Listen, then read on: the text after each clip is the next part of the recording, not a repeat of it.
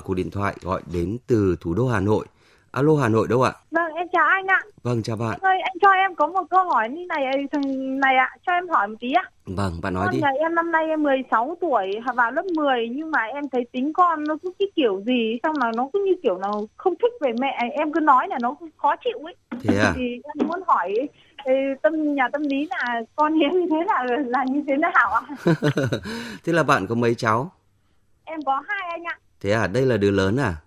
Vâng, đây là lớn mà nó cứ kiểu lằng nhằng xong rồi nó ít nói nó cứ lầm gì xong là nó chả làm gì nó cứ ngồi nó ôm cái điện thoại ấy mà nói nó thì nó chẳng nói năng gì xong là nó cứ lầm bầm trong mồm ấy. Ừ. Thế là con Vâng. trai con gái vậy? Con trai ạ. À, con trai. Rồi, Vâng. thế bố nó có tâm sự được với nó không? Chồng em thì là vẫn nói chuyện với con bình thường Ừ. nhưng mà cứ nhìn thấy em là nó nó chỉ có dạ và vâng bố nó thôi. Ừ. Nên là bố nó nói cái gì là nó nghe chứ còn em nói là nó khó chịu và nó thái độ ra mặt luôn ấy. Thế à, cái hiện tượng này ờ, xuất hiện lâu chưa? Từ bắt đầu từ ờ, cuối học kỳ năm ờ, năm lớp 9 á. À. Đầu khi vào lớp 10 là Rồi. em đã thấy cái thời gian Covid ấy. Ừ, bây giờ Đấy. cậu chàng đã, đang là thanh niên rồi đấy. Đâm ra có khi nhiều cái không chia sẻ được với mẹ. Ờ, thế là đứa, đứa thứ hai là mấy lớp mấy? Đứa thứ hai năm nay lớp 9 á thì nó kém thằng đấy có một tuổi thôi anh ạ. Cũng con trai à? Con gái ạ. À, Nhưng con con gái. thì nó lại tâm lý hơn, nó nói nó dễ nghe hơn mà Biết đâu chưa đến cái tuổi, chưa đến cái ngưỡng giống thằng anh thì sao?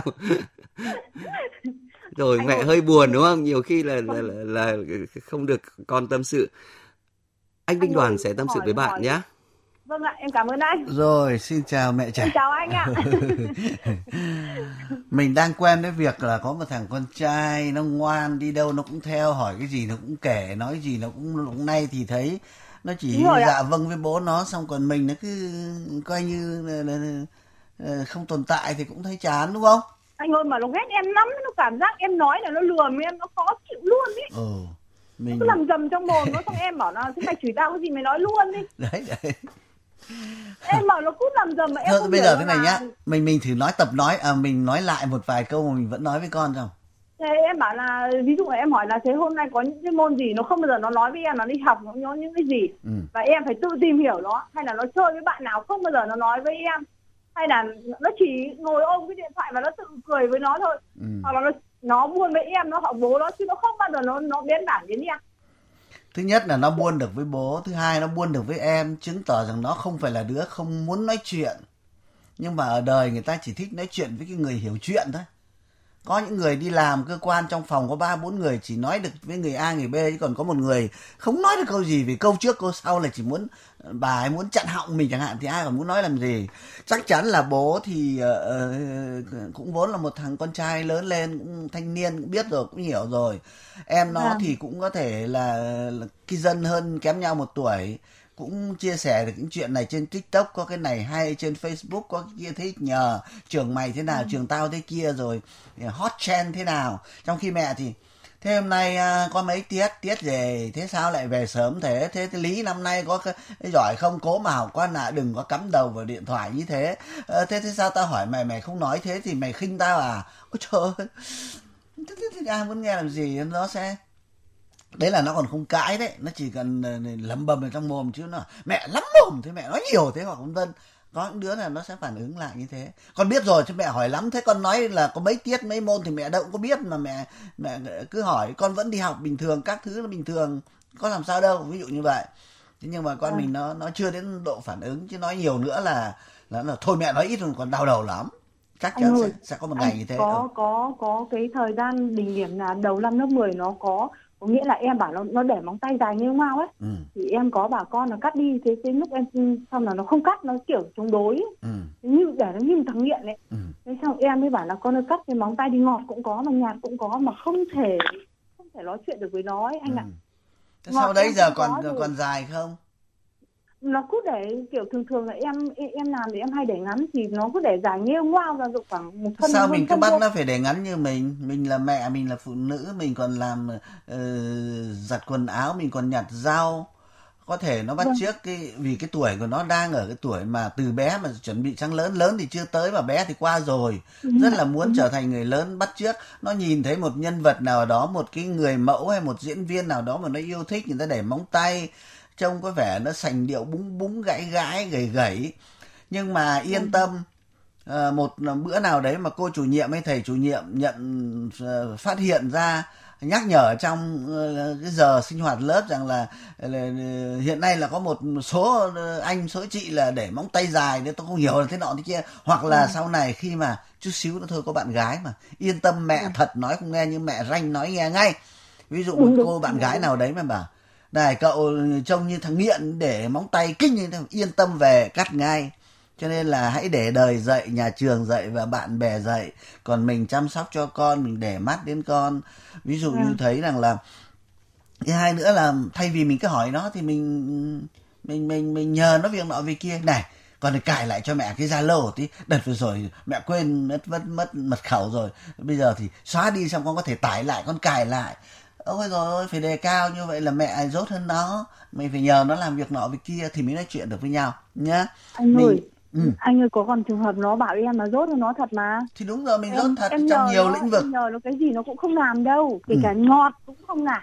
Nhờ cái gì? Mình nhờ những cái gì? Nhờ em những cái điểm mạnh là không? em vào mạng đúng công nghệ em cũng hơi kém em bảo bầu ơi bầu ờ, con ơi con ấy hộ mẹ cái này với. Ừ. mẹ không biết gì đâu nhưng mà nó cũng không làm nó nặng im luôn. Có nghĩa em nhờ bất kỳ một cái gì nó không làm. Ừ.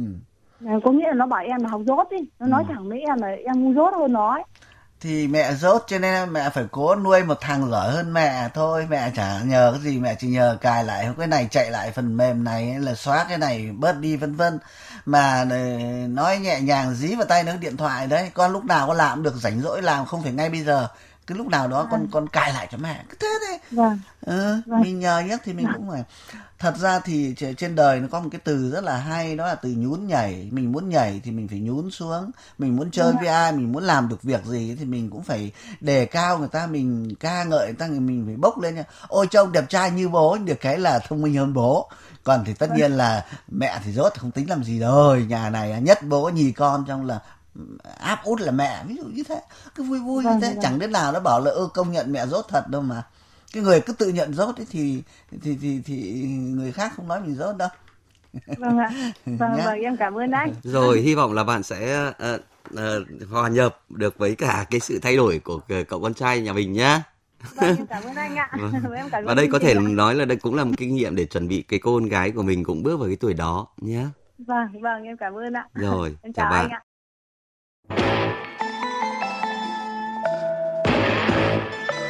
Các bạn đang theo dõi chương trình phát thanh trực tiếp Cửa sổ tình yêu. Khi gửi câu hỏi cho chúng tôi qua số điện thoại 0243 826 26 25 vào tất cả các ngày trong tuần, các bạn sẽ được đội ngũ chuyên gia của chúng tôi gọi lại và tư vấn miễn phí. Xin nhắc lại số điện thoại duy nhất của chương trình 0243 826 26 25. Chúng tôi đang chờ bạn. Còn bây giờ thì chúng ta sẽ cùng tiếp tục chương trình bằng cuộc điện thoại khác, cuộc điện thoại gọi đến từ tỉnh Thanh Hóa. Alo Thanh Hóa đâu ạ? Vâng ạ, đây ạ. Tôi đang nghe đây ạ. Vâng ạ. Dạ, Thì câu hỏi ạ. À, thì tôi muốn à, chuyên gia tư vấn cho vấn đề về hôn nhân gia đình ạ. Vâng, Vâng ạ.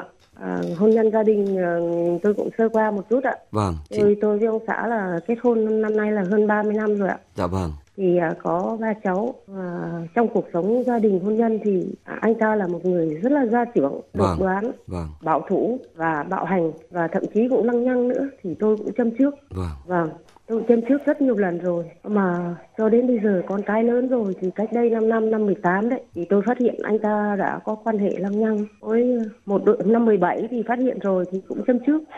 Tiếp tục năm 18 thì bắt quả tang thì anh ta bắt đầu chị kể nhanh câu chuyện của mình anh, nhé. anh, anh, anh ta rất là là anh anh ta bắt đầu là là là bạo hành Vâng, không nhận rồi bắt đầu là đánh đập à, và tiếp tục 19 20 là tiếp tục mấy đối tượng nữa vâng, thì ờ, tôi đã đau khổ và đến tới trầm cảm luôn. Vì con nó đang còn chưa chưa xong.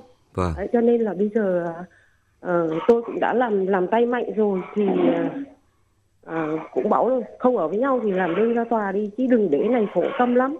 Vâng, ông cứ trốn cũng đi suốt thôi. Về nhà tôi chỉ là một cái con rối cho phục vụ anh ta thôi. Về nhà nói câu trước câu sau là ông đấm. Đấy Ờ. và đến bây giờ thì tôi cũng đã trầm cảm, đúng hai năm trời không ăn không uống gì được, suốt bảy tám cân liền. Bây giờ tôi cũng nghĩ là tôi cũng theo ông đinh đoàn nhiều lắm, tôi xem đó đăng ký mãi không được thì xem chương trình mình cũng ăn ủi được. Và bây giờ mình cũng buông bỏ trong tư tưởng ra. Và hiện tại bây giờ là vợ chồng không quan hệ gì cả, chỉ có ở thì để ờ, lo cho mấy đứa cho nó xong thôi. Và tôi cũng muốn hỏi chương trình là tới đây là con cái nó xong xuôi rồi thì tôi cũng làm đơn ra tòa rồi nhưng mà cũng chưa giải quyết á tôi cũng muốn nắn ná cho anh ta sửa nhưng anh ta không sửa được anh ta cứ bảo tao thách mày đấy Rồi, năm nay chị bao nhiêu tuổi rồi đấy ạ? dạ năm nay tôi cũng lớn rồi năm bảy tuổi rồi Dạ, năm bảy tuổi. Anh chị đứng sai con gà đang hay là con con, con gà con gô? gà à? con gà con gà đang đang đang cục sắt Dạ vâng, thôi, Vâng, thôi chị vâng, đứng vâng, xa vâng. nó ra một tí nhá. vâng vâng chị, chị Vâng. Ờ, hiện tại thì ông ấy đang ở nhà hay là ông ấy hiện tại là ông cũng là về hưu rồi sĩ quan quân đội đấy Ừ, ông ấy về đang ở rồi. nhà nhà cùng chị hay là ông ở không nơi không khác? không bây giờ ông đi vắng ạ bây giờ đang ở cùng Đang ở cùng nhưng hiện tại thì ông không đang ở nhà, nhưng mà hàng ngày thì ông vẫn về nhà đúng không? vâng vâng vâng, vẫn về ăn cơm À. hàng nhưng mà vợ chồng coi như là không không lâu rồi không ngồi mâm với nhau Dạ vâng, thế Không thế là một trung bình một tuần thì ông ấy đấm chị mấy lần? không à, khoảng à, từ năm 18 đến giờ thì rất là thưa nhưng khoảng à, gần một năm nay á. À, có nghĩa là đánh đánh à, ví dụ như là tôi cũng à, trao đổi với ông ấy rồi con cái nó cũng góp ý cho ông ấy. Ừ, nhưng mà ông không lên là ông đấm rồi ông bóp cổ rồi ông xô rồi ông nói chung là ông bạo hành. Rồi. khi nói ông bảo là tao hung lên như thế thôi. Ừ. Đấy, nói thế mà suốt rồi mấy Bây giờ nay anh chị là Vâng. vẫn đang ở cùng với con cái của mình đúng không? vâng không ạ à, hiện nay là hai đứa gái là lấy chồng rồi còn một đứa cháu trai thì đi học đại học ạ À thì đâm ra là ở nhà chỉ có mỗi hai ông bà ở với nhau thôi đúng không? Vâng, mới đây ạ vâng Rồi. Chị Hoàng Thúy Hải sẽ tâm sự với chị nhé. vâng vâng ạ Ờ, tôi chào bạn. vâng vâng xin chào ạ xin chào chuyên gia ạ. Tôi cũng chúng mình cũng gần gần tuổi nhau.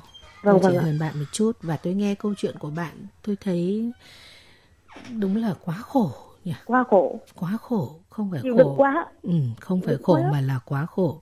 vâng Mình ờ, mang tiếng là có chồng vâng và có ba đứa con vậy Vâng. mà cái cuộc sống của mình nó không có một cái giây phút nào mà nó được Vâng bình yên thanh thản đúng đúng đúng không ạ? Vâng. Vâng ạ. Và nuôi con thì ông ấy là bộ đội thì suốt suốt thời không trai trẻ thanh mấy- xuân vâng thì ông ấy ở ngoài bộ đội. Vâng ạ. Ờ, mình tự đẻ tự nuôi dưỡng Vâng con đúng không? Chăm Đúng sóc ạ. con cho con Vâng nó lớn. Bây Nói đúng giờ lắm ạ.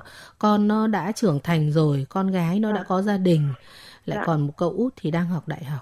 Vâng ạ. May mắn là chị còn có ba cái của để dành đấy vâng vâng nó quá là tốt và Vâng. nó nó trưởng thành được như thế hoàn toàn là một tay mẹ chăm một tay mẹ Vâng. nuôi một tay mẹ dưỡng quá đúng ạ ừ và bây giờ thì ba cái cái của để dành đấy thực sự nó là cái tài sản vô giá đối với lắm. chị vâng nó là tài sản vô giá đối với chị và Dạ, đúng dạ. là may mà còn ba cái cái chỗ đấy để mình dựa vào. Vâng vâng vâng. Chứ không mình chẳng còn thiết cái gì ở trên cái đời này nữa đúng không dạ chị? dạ đúng ạ. Bởi vì là Dạ, là phụ nữ mà tôi hiểu cho nên là nếu như mà không có cái chỗ dựa lớn như vậy thì mình chẳng còn cái gì ở trên đời này Vâng, mình trắng tay đúng. luôn. Trắng tay luôn. Ừ. bây giờ thế này vâng và cái cái hậu quả mà lớn nhất đối với chị thì Vâng tôi vô cùng tiếc là Vâng. chị lại để ảnh hưởng đến sức khỏe của mình vâng ạ chị Đó, có biết trầm cảm nó là một cái bệnh nó sẽ để lại cái hậu quả rất là lớn nếu như người bệnh và người thân không nỗ lực tự vượt qua Vâng mà ạ. để cuối cùng mà mình lại phải thành uống thuốc mãn tính uống Vâng. thuốc suốt đời Vâng.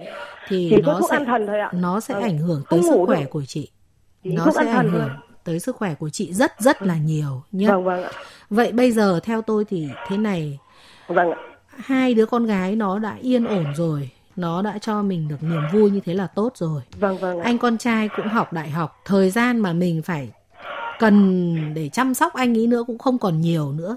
Nó Vâng. chỉ một vài năm nữa là con ra trường con sẽ tự trưởng thành con Vâng sẽ lúc đấy con sẽ là chỗ dựa cho mình rất là Vâng lớn ạ. vậy thì mình sẽ nói chuyện với ông này lúc ông ấy hoàn toàn tỉnh táo lúc ông ấy hoàn toàn bình thường là ông có muốn duy trì cái cuộc sống như thế này nữa không? Bây giờ chị đâu có phải phụ thuộc vào ông ấy một chút gì vâng nữa đâu vâng. Vâng đúng tôi không? là cũng à, về hưu rồi cũng bao nhiêu năm nay rồi đúng không ạ? Vâng vâng ạ. Và chị theo tôi thì chị nên nói chuyện thẳng thắn với ông ấy một lần hai lần. Dạ. kể cả có nói riêng tư sau đó có thể mình gọi cả các con về mình gọi là họp gia đình đấy nói với bố xem là bây giờ bố muốn sống cái kiểu sống như thế nào. Vâng ạ. Nhé mẹ năm nay mẹ đã bắt đầu bước vào tuổi 60 rồi. Sức khỏe của mẹ là vấn đề vô cùng quan trọng. Vâng ạ. Bởi vì chị xác định rằng khi ạ. chị Chỉ có ốm đau đầu không ngủ được đau đầu uất uất uất. Xin lỗi ạ, tí ạ. cái uất đấy chị Uất. nghe tôi nói này cái uất đấy nó sẽ biến ra rất nhiều những cái bệnh khác vâng đặc biệt là về là về tim mạch. Đấy cho nên cái sức khỏe của chị là lớn nhất. Chị nằm một Vâng. chỗ sẽ không ai thương chị không ai phục vụ chị. Vâng ạ. Nhá. Vâng và ơn rời nếu đau một giờ đi một giây thì nó còn phúc chị ạ. Nếu mà chị nằm một chỗ ấy thì sẽ khổ vô cùng tận luôn. Vâng và bây giờ chị là người chủ động cuộc sống của mình. Vâng ạ. Nói với ông ấy là ông muốn sống cuộc sống như thế nào. Còn nếu một lần nữa và như thế này tôi sẽ không thể sống với ông được. Chị hoàn toàn có thể tự đợi đệ đơn ra ngoài ờm, ờm, chính quyền tòa để mà vâng tòa án để chị chấm dứt cái cuộc hôn nhân này. Để làm gì mình phải sống cho mình. Vâng ạ. Mình phải giải thoát cho cái cuộc sống của mình. Chứ Vâng tất nhiên tôi là người ngoài tôi không thể hiểu được tất cả những cái Dạ, nội dạ, tình của câu chuyện Vâng, của chị. vâng, vâng, vâng. nhưng bây giờ không trời cứu không bằng mình tự cứu. Vâng ạ. Nhá. Chị phải xác định rằng chị đấy mấy lần chị đi viện chị biết rồi. Đi viện đây là chị còn tự đi mua được thức ăn Vâng. chị còn xin, xin, tự xin lỗi sinh cắt, cắt sinh sinh ạ sôi ấy có được. mỗi lần tôi đi viện thì tôi nói với ông ông bảo là bây giờ già rồi nhiều tuổi rồi đi viện là họ trả về tao lo chống kèn chị ờ, không ờ, trông cờ chờ gì cái con người này Vâng. nữa Không- và không nếu trông như cuộc được. sống cứ như thế này thì ông ấy sẽ sống chống kèn sớm cho mình vâng Rồi ông ấy phủi tay. ông ấy phủi tay rất là nhanh nhá tự Vâng. tìm lấy cách cho cuộc sống của mình là chính vâng vâng Rồi, chị đã nghe rõ những lời chia sẻ của chị Hoàng Thúy Hải rồi chứ? vâng ạ Hy vọng chị Tôi- ờ, sẽ khắc phục được những cái khó khăn tôi của tôi mình. tôi tôi muốn hỏi hỏi một chút là là ừm, hỏi hỏi cô cô Hải một tí ạ vâng vâng à, câu Hải tôi bảo về về chuyên la về về ấy thì ờ, hắn đi đi quá nhiều ạ mà tự nhiên tôi ờ, út và và và lãnh cảm là gì? Tại vì nó đi quá nhiều nhiều đối tượng quá đấy. Vâng. Và nó bị lây bệnh ờ, xã hội ạ vâng. Có phải là cái bệnh ờ, sùi màu gà là tôi tham khảo là là là nó qua có quan hệ nhiều đối tượng gái? Chị ơi sùi màu gà nó là bệnh lây truyền qua đường quan hệ tình dục vâng đúng Vâng. rồi mà vợ Và chồng tôi nếu như từ mà- khi nhau đến giờ không việc gì mà cái thời gian ông đi ngoài về là ông bị và ông đã đi chữa bệnh thì tôi tôi nói là tôi cũng xem trên mạng tôi coi cái bệnh đấy nguyên từ đâu tôi nói là ông đánh ông bóp cổ tôi rồi ông dúi ông bảo là ông giết. Thì cái bệnh đó là cái bệnh tôi biết là ông quan hệ gái nhiều. Chị và ơi cũng đã một chị- vài lần đã định vị đã bắt được ở nhà trọ rồi. Chị ơi, không Dạ. phải chỉ là sùi màu gà đâu, sùi màu gà là chị còn nhìn thấy ở bên ngoài hoặc là có thể chị bị lây. Chứ còn những Vâng. cái bệnh khác nữa cơ, nó là Vâng, HIV, nó là viêm Vâng, gan vâng. B, nó là viêm Đấy. gan C, nó là Vâng. còn rất nhiều những cái bệnh khác mà mắt mình không nhìn thấy được khi mà nó Dạ, chưa dạ, có dạ, triệu chứng dạ, lâm sàng. dạ. Vậy thì mấu chốt của vấn đề ở đây là chị hãy thương lấy chính chị nhá. vâng ạ. Rồi, cảm ơn ờ, chị Hoàng Thúy Hải. Xin chào chị. Chúc chị có một sức khỏe thật tốt và ổn định tinh thần nhé.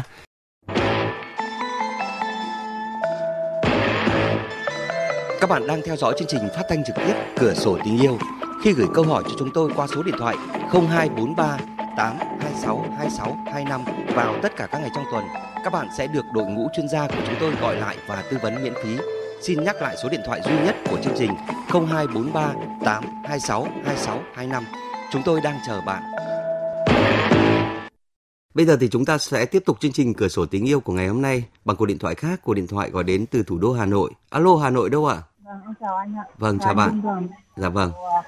tất cả các anh chị trong uh, chương trình tuổi tuổi tình yêu Ừm, hai vợ chồng em khúc mắc ở các uh, kết hội được 20 năm rồi nhưng mà khúc mắc về cái phần uh, sinh hoạt vợ chồng về tính cách của chồng em làm cái gì em cũng phải nhìn mặt chồng nếu mà em có nói ra quan điểm của mình chồng toàn quá xong rồi nhiều khi em cảm thấy em ức chế mà Ừ. có lo lắng cái gì cho con ấy thì mà chồng không vừa ý cũng toàn chửi Ừ. rồi đánh em nghĩ nhiều cái mà bây giờ mà nghĩ buông thì nghĩ cũng vì con Ừ. mà bây giờ mình nhà cửa mình cũng ổn định rồi cũng chả liên quan gì đến đến làm ăn như này đêm nào cũng cứ nghĩ đến mình như thế em nghĩ là em chán em muốn hỏi lên cởi của yêu bây giờ em phải làm Dạ.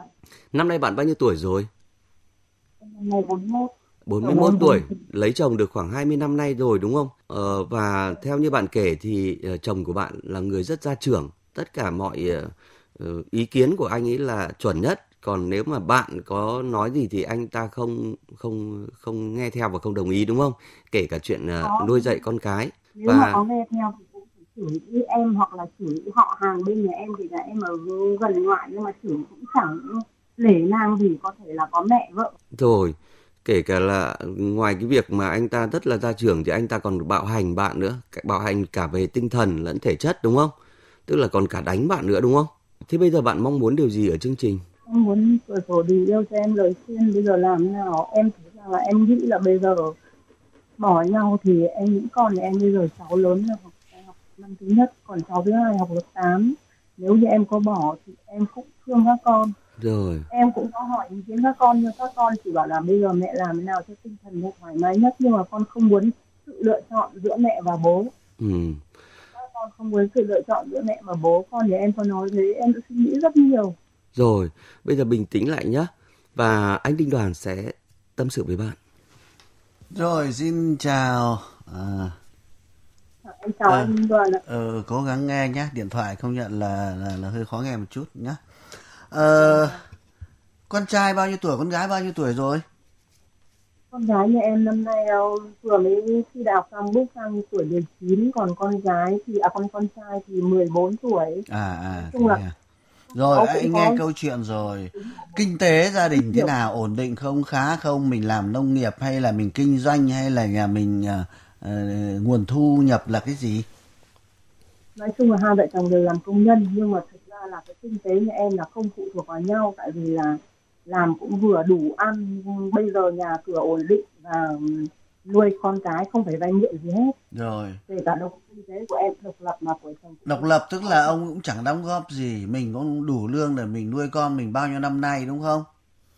Không phải có nghĩa là mỗi tháng chồng em sẽ đưa cho em 5 triệu còn đâu là à, em tự lo hết từ A đến Z con Rồi. cái nội ngoại anh ấy chỉ như một người chủ trọ mà nộp tiền cho bà chủ để lấy tiền ăn thôi đúng không ừ. à, anh ấy có cái gì để mà anh ấy tự hào ờ, vượt trội hơn mình không anh ấy đẹp dai hơn anh trẻ hơn hay là anh ấy khéo léo ra đường là đến bây giờ phụ nữ cứ bâu đi anh ấy chẳng hạn cái ra đường phụ nữ bầu thì em không biết tại vì em đi làm từ sáng đến tối em không quan tâm vấn đề đấy. Nhưng mà Rồi. nếu mà nói về khéo léo ấy, thì hầu như bên chồng nhà em là toàn ủng hộ em. Còn đây là tính cách của chồng em kể cả như con em này anh chị em bên chồng đều cạch mặt chồng em ra. Ừ. thì tính cách là nói cái gì là mọi người cũng phải nghe hoặc là uống rượu một cái mà chửi một cái là mọi người đều im. Và nhiều lúc mẹ chồng em có biết em phải chịu như thế mẹ chồng em chỉ động viên là thôi sống thì các con ừ. chứ còn mẹ biết tính của nó như thế rồi đâm ra mẹ mà có nói vào nó cũng chỉ chửi mẹ thôi nó cũng mẹ cũng không giải quyết được gì tại vì bố chồng thế một ngày một tuần thì mấy lần cãi nhau và lâu bao lâu thì đánh nhau một lần đánh nhau thì nói chung là nếu như em nhịn mà chửi bố chửi mẹ em lên hoặc làm một cái gì đấy mà nói em nhịn em không cãi lại ừ. sẽ không đánh em ừ. nếu như em chỉ cần cãi lại thì có thể là vung tay lên phát luôn phát vài cái. Ăn có ăn chung không? Bữa ăn đi có ngồi xuống cả vợ chồng cái và lúc ăn có chửi nhau không? Ăn thì đang ví dụ là đi làm về là em đi làm về mà nấu ăn mà chẳng may là hơi mặn tí hoặc là không vừa mồm một tí thì có thể chửi luôn bữa ăn chửi từ đầu đến cuối luôn. Ừ. thế có ngủ không? thì, ngủ đều không? cái cái cái chuyện quan hệ vợ chồng ấy có duy trì đều đều đều anh ạ. Ừ, và cái đấy thì không có vấn đề gì đúng không? Cứ cái lúc làm thì không hay cãi nhau mấy. Tại vì làm tách xa nhau ra mỗi không. người công ty chẳng ai gần cái làm không nói làm gì nhưng mà cái cái chuyện vợ chồng có duy trì quan hệ năm nay mình mới có 41 cũng còn trẻ lắm. Uh, duy trì cái quan hệ vợ chồng không? Hòa hợp không?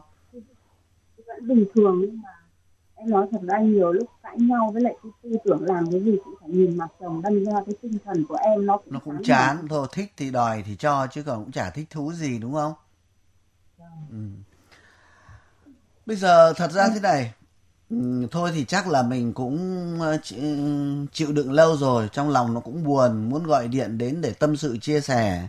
Chứ chắc là một cái thay đổi lớn chắc mình cũng chả dám làm đâu mà giá như mình lấy một đây rõ ràng như anh thành văn ban nãy có chia sẻ chồng của mình này vừa gia trưởng vừa vũ phu vừa bạo lực rồi nói chung là còn thiếu trách nhiệm rất là nhiều thứ. Thế mà mình cũng sống được 20 năm cũng hai đứa con 19 18 cả rồi. Tất nhiên là là mình đã cái, cái gồng gánh lên nó cũng quá nặng rồi bây giờ chỉ muốn chia sẻ cho nhẹ lòng thôi. Chứ còn bảo chia tay ly hôn thì chắc mình không dám bởi vì bản thân mình cũng thấy này nhà cửa ổn định này muốn con ờ, có bố này. Thế rồi là kinh tế thì cũng độc lập này. Không lẽ bây giờ mẹ chia tay nhau lại lại hóa giá thanh lý cái nhà xem bao nhiêu mỗi người cầm một ít rồi ra đi rồi thuê nhà hoặc là vân vân thì chắc là cũng mình cũng ngại đúng không? Đấy thế thì em, em hỏi xin các anh hỏi anh dự kiến là như này. Em em suy nghĩ rất nhiều em bảo là bên em nhà ngoại em thì bảo thôi cứ để ở với bố mẹ nhưng mà em bảo chẳng tội gì tại vì hai bàn tay trắng làm nên là tự dưng mình nhà của mình tội gì phải bỏ đi đâu đúng không? Mà giá bảo một cô gái 18 đôi mươi vừa mới lấy chồng có đứa con còn độ hai ba tuổi bị chồng nó bạo lực thì bế con về ngoại để nương nhờ còn được. Mình phụ nữ sắp lên bà nội bà ngoại cả rồi. Bây giờ về làm khổ bố mẹ ra mà cũng không thay giải quyết được vấn đề gì cơ mà. Cái việc mâu thuẫn vợ chồng nó vẫn cứ còn tồn tại ở đấy chứ không phải mình mình bế con về ngoại để dọa ông kia ông sợ rồi ông sang ông tìm rồi ông nhún nhường gì đâu. Không tuổi này không phải là cái tuổi bế đi đâu cả. Như mình nói là đúng cái nhà là nhà của mình trong đó cái mồ hôi công sức của vợ chồng cùng nhau làm từ những ngày còn còn trẻ. Không có đi đâu cả nhà mình nhá. Cái thứ hai là xung quanh mình còn có hai đứa con vậy là cứ tạm gọi đi. Mình cũng có cái nơi nương tựa về tinh thần. Ngộ nhỡ có chuyện gì xảy ra các con nó cũng bên cạnh mình và nó cũng bênh vực mình nó cũng ủng hộ mình. Đấy cũng là một cái mà gọi là là là, là ờ, vui vui đúng không? Cái việc thứ hai thì ờ, ờ, phải nói rằng là bên nhà ngoại cũng như mọi người lớn cũng nói rồi đấy. Người ta bảo giang sơn dễ đổi bản tính khó rời tính cách của một con người uốn cây phải uốn từ lúc còn non dạy con thì học cấp 1, cấp 2, cấp 3 chứ còn đến nó lên đại học nó lớn rồi tuổi ngoài 20 tính cách gia trưởng hay là cục cằn hay thô lỗ hay lịch sự nó cũng đã ổn định rồi. Cái sự thay đổi nó nó ít lắm. Đấy chỉ có khi chính cái người trong cuộc ấy, người ta thấy rằng là tính của người ta là không chấp nhận được, họ phải cố thay đổi, đi tu tu, đi luyện để thay đổi. Thì may ra mới được, chứ còn chưa chắc đã được cơ mà. Cũng như mình thế thôi, tính mình cứ nhút nhát cả nể nhiều lúc mình chán mình lắm ấy, thế nhưng mà mình cũng có thay đổi được đâu. Thế vậy thì mục đích của mình bây giờ không phải là để cải tạo ông kia. Ông ấy vũ phu, ông ra trưởng, ông ấy nóng tính hơn một tí thì ông giơ tay thì ông vẫn thế rồi. Bây giờ chỉ có rời thì may mới dậy được ông ấy là trở thành người ờ, đạo đức thủy chung, son sắt, nhẹ nhàng, lịch lãm, không có, nhá thế và cái thứ hai nữa ở đời người ta cũng nói rằng có những thứ phải chung sống. À, lũ lụt là một thứ rất sợ mà người ta còn dạy nhau cách chung sống với lũ. Đại dịch covid đợt vừa rồi chết như ngả dạ cuối cùng có chiến thắng được đâu cũng bảo thôi chung sống với đại dịch covid. Vậy thì cái ông chồng của mình 20 năm được rồi thì bây giờ tiếp tục học kỹ năng chung sống chứ không phải là tìm cách uh, bỏ chạy hay phá tan gia đình hay đi đâu. Mà con nó nói đúng đấy chúng là lớp trẻ khôn hơn thật thôi, con chỉ muốn là cái nhà này vẫn duy trì nhưng mẹ làm sao cho tinh thần của mẹ thoải mái hơn. Đó là gì? Cũng phải bật lại chứ. Này, ông đưa được 5 triệu bạc, ông tưởng to lắm à. Đây, hầu, đây cũng đi làm, ông chưa phải nuôi nhá. Ông chê cơm này không ngon gì từ mai đi không phải nộp tiền nữa, ăn ngoài. Đây không phải con này, không phải đi làm ờ, đầy tớ cho đứa nào hầu ai. Mình cứ thử thế xem nào mình mình mình sợ cái gì? Đến lúc này mình sợ gì? Nói thế rồi xong ăn tát luôn. Thế thì mình không biết làm gì à? Mình đứng cho nó tát à? con run xéo lắm nó phải quằn chứ. Đến con chó mà bị đá nó quay lại nó đớp cho phát chứ. Nó mình to khỏe người to khỏe. À, có lần đánh em đi viện xong rồi uh, em với bảo bác sĩ là kiểm tra đầu em xong có xong không thế là em, anh bác sĩ hỏi sao? Em bảo là em bị ngã anh bảo không cái chỗ này em bị đánh em đừng nói dối anh. Ừ. đấy. xong rồi anh bảo nếu mà có muốn đưa ra pháp luật thì chỗ này cũng muốn thụ lý nhưng mà em bảo thôi bây giờ làm như thế thì cũng chẳng giải quyết được gì. Đấy. Nó đánh mình đi đi, đi đi đi viện bác sĩ còn nhận ra là đây là vết đánh chứ chẳng phải là gì thì mình là người nối giáo cho giặc mình là người dung túng rồi đúng không? Thế còn bây giờ cứ dọa đi tôi gọi công an tôi gọi cơ quan pháp luật ờ, luật bình đẳng giới luật phòng chống bạo lực gia đình có. Xung quanh mình có hội liên hiệp phụ nữ mình báo cáo để cho chính quyền địa phương gọi ra làm kiểm điểm thề hứa là không được gây bạo lực nữa. Lần đầu phạt uh, cho um, gọi là hành chính một số tiền nhất định. Nếu còn tái phạm thì sẽ xử theo uh, luật hình sự chẳng hạn. Ví dụ như thế. Nó có tính chất gian đe đây mình cũng là con bao che. Nó đánh mình còn bảo là bị ngã thì thôi rồi, đấy là ở mình cũng, trong đấy có một phần trách nhiệm của mình nhá. Mình phải phải phải mạnh, mình mẽ. Ừ, tất nhiên là không phải nó cứ tát mình cái, mình xông vào tát ngay. Thiếu gì cái biện pháp. Mà mà để thấy rằng là mình không cần ông ấy, mà chính là ông ấy đang cần mình. Rằng là không có tôi rời ra thì ông chết, chứ còn đây á, cũng chả sợ gì. Tự làm, tự ăn, có các con. Thế cho làm sao? Nha thế và à, nếu như có tìm cái sự hỗ trợ thì phải tìm đúng nơi đúng chốn không phải ừ. gì cả. Báo cáo chính quyền địa phương rất nhiều trường hợp mà người phụ nữ bị chồng đánh đến đến nguy hiểm đến tính mạng xong rồi lúc ấy uh, các cơ quan pháp luật mới vào cuộc xong rồi uh, người ta trách cứ về về về hội phụ nữ hay là tổ dân phố hay là trưởng thôn sao lại không biết vụ việc này thì người ta cũng bảo rằng các chị im mồm các chị có khai báo gì đâu có chia sẻ gì đâu mà ai biết. Cứ tưởng là là là là bình an lắm con có khóc thì mẹ phải cho bú chứ nhá. Muốn ai giúp đỡ gì thì mình phải biết chia sẻ. Rồi bạn đã nghe rõ những lời chia sẻ của anh Đinh Đoàn rồi chứ. Hy vọng uh, những cái lời tâm sự này của anh thì sẽ giúp ích bạn ít nhiều nhé xin uh, chào bạn. Cảm ơn anh Đinh Đoàn.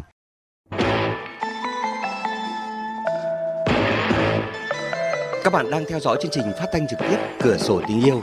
Khi gửi câu hỏi cho chúng tôi qua số điện thoại 0243 8 26 26 25 vào tất cả các ngày trong tuần, các bạn sẽ được đội ngũ chuyên gia của chúng tôi gọi lại và tư vấn miễn phí. Xin nhắc lại số điện thoại duy nhất của chương trình 0243 8 26 26 25. Chúng tôi đang chờ bạn. Chúng ta sẽ cùng tiếp tục chương trình bằng cuộc điện thoại gọi đến từ thủ đô Hà Nội. Alo Hà Nội đâu ạ? À mẹ ạ. Dạ vâng, tôi nghe đây ạ. Vâng ạ, tôi mà nói anh là tôi năm nay 69 tuổi. Ờ thế ạ. Dạ vâng. Nhưng mà sinh hoạt một tuần ba buổi thì có quá nhiều không? Thế một à? hai nữa là tại sao tôi hỏi anh là tại sao sinh hoạt với một người trẻ tuổi Ừ. tức là người ít tuổi Ừ. thì là rất khoan khoái và dễ chịu Ừ. nhưng mà sinh hoạt với một người nhiều tuổi ví dụ như thế thì là người rất mệt Ừ. đấy tại sao Rồi, anh năm nay 69 tuổi, tuần anh vẫn làm được ba cái đúng không? Làm với Vâng, vợ hay làm với ai đấy ạ? nói chung là làm với ờ, bạn tình Rồi, Vâng. tóm lại anh đi ra ngoài không phải vợ mình đúng không? Bởi vì cụ bà nhà anh thì chắc cũng phải 65, 67 rồi đúng không ạ? Và Vâng, anh vâng, chỉ mong ly muốn là thân. với cái các cô ờ, 2X thôi đúng không? ly thân thể ly thân lâu rồi Vâng. Thế nhưng cái chỗ của anh là có an toàn không đấy? Không lại lại- cụ lại cụ mang bệnh vào người đấy cụ ạ. không à đây là ấy mà đây là một kiểu bồ bồ bịch Rồi, thế là cái cái cô bồ là bao nhiêu tuổi đấy ạ? cô này nếu mà nói chung là tôi là có mấy người rồi nhưng mà cái người già là Già là bao nhiêu đấy ạ? 60 61 Vâng, thế là anh quan hệ với cả bà 60 lẫn cô 20 bởi vì anh rất là nhiều bồ đúng không? đúng không Anh chắc là cũng là thuộc dạng là sáng sủa sạch sẽ, to cao đẹp dai đúng không? Đẹp lão chứ nhỉ? cũng bình thường đẹp lão Dạ vâng. Rồi bây giờ một tuần ba buổi, bây giờ là anh muốn là một tuần năm buổi hay là sao ạ? không thế là tôi muốn hỏi anh tại sao nhá ví dụ tôi sinh hoạt với cái cô bồ trẻ. Vâng, tôi nói thật anh là tôi bốn vợ. Vâng. vợ vợ mới có ba mươi hai tám hai bảy hai sáu tuổi. Có nhưng mà tại sao là cứ sinh hoạt với cái cô vợ Tôi ờ, đầu tiên tôi ờ, cảm ơn anh là sự tin tưởng gọi đến chương trình cửa sổ tình yêu. Và cũng Vâng. chúc mừng anh là có cái sức khỏe rất là tốt, rất là phong độ. Nhưng mà thực sự là cái câu hỏi của anh nếu mà phát sóng ở trên đài thì nó rất là nguy hiểm bởi đây đúng như rồi thế không nó Dạ vâng, thế là mời anh liên hệ với chúng tôi qua số điện thoại tổng đài và anh đăng ký cuộc gọi tư vấn riêng tư nhé. Bởi à, như này, không được phát gì Dạ, không được phát. phát à dạ vâng, vâng vâng ok chúng ta sẽ cùng tiếp tục chương trình cửa sổ tình yêu của ngày hôm nay bằng cuộc điện thoại gọi đến từ thành phố Hồ Chí Minh. Alo, thính giả thành phố Hồ Chí Minh đâu ạ? Dạ em chào anh, em ạ. Dạ vâng, chào bạn. Câu hỏi của bạn là gì vậy? À, em uh, muốn hỏi chuyên gia tại um, lúc trước kia ờ, về cái sinh lý của em anh ạ. Rồi. Làm sao? Cụ thể đi. Ý em hỏi là lúc trước kia là em ờ, lúc 32 tuổi á, Ừ, hiện tại giờ em 43 tuổi rồi. ừ, À, lúc trước em 42 tuổi thì em quan hệ coi như ờ, một ngày á là em quan hệ được ba bốn lần. rồi, Chung là liên tục trong một tuần có thể em làm được. rồi. Và bây giờ coi như là em em gần cầm tay phụ nữ nhỏ em nó không lên được anh ạ. Tức là sao? Bây giờ 43 tuổi thì làm sao không quan hệ được nữa à? Dạ, ý là mình nắm tay phụ nữ thì nó không có cảm xúc nó không có cứng cứng không có cương cứng được À, thế nhưng mà một tuần thì được mấy lần? Hiện mấy năm giờ em chưa thử lại nhưng mà em theo cảm giác em nói chuyện như Có vợ chưa? Có vợ chưa? dạ chưa Chưa có vợ.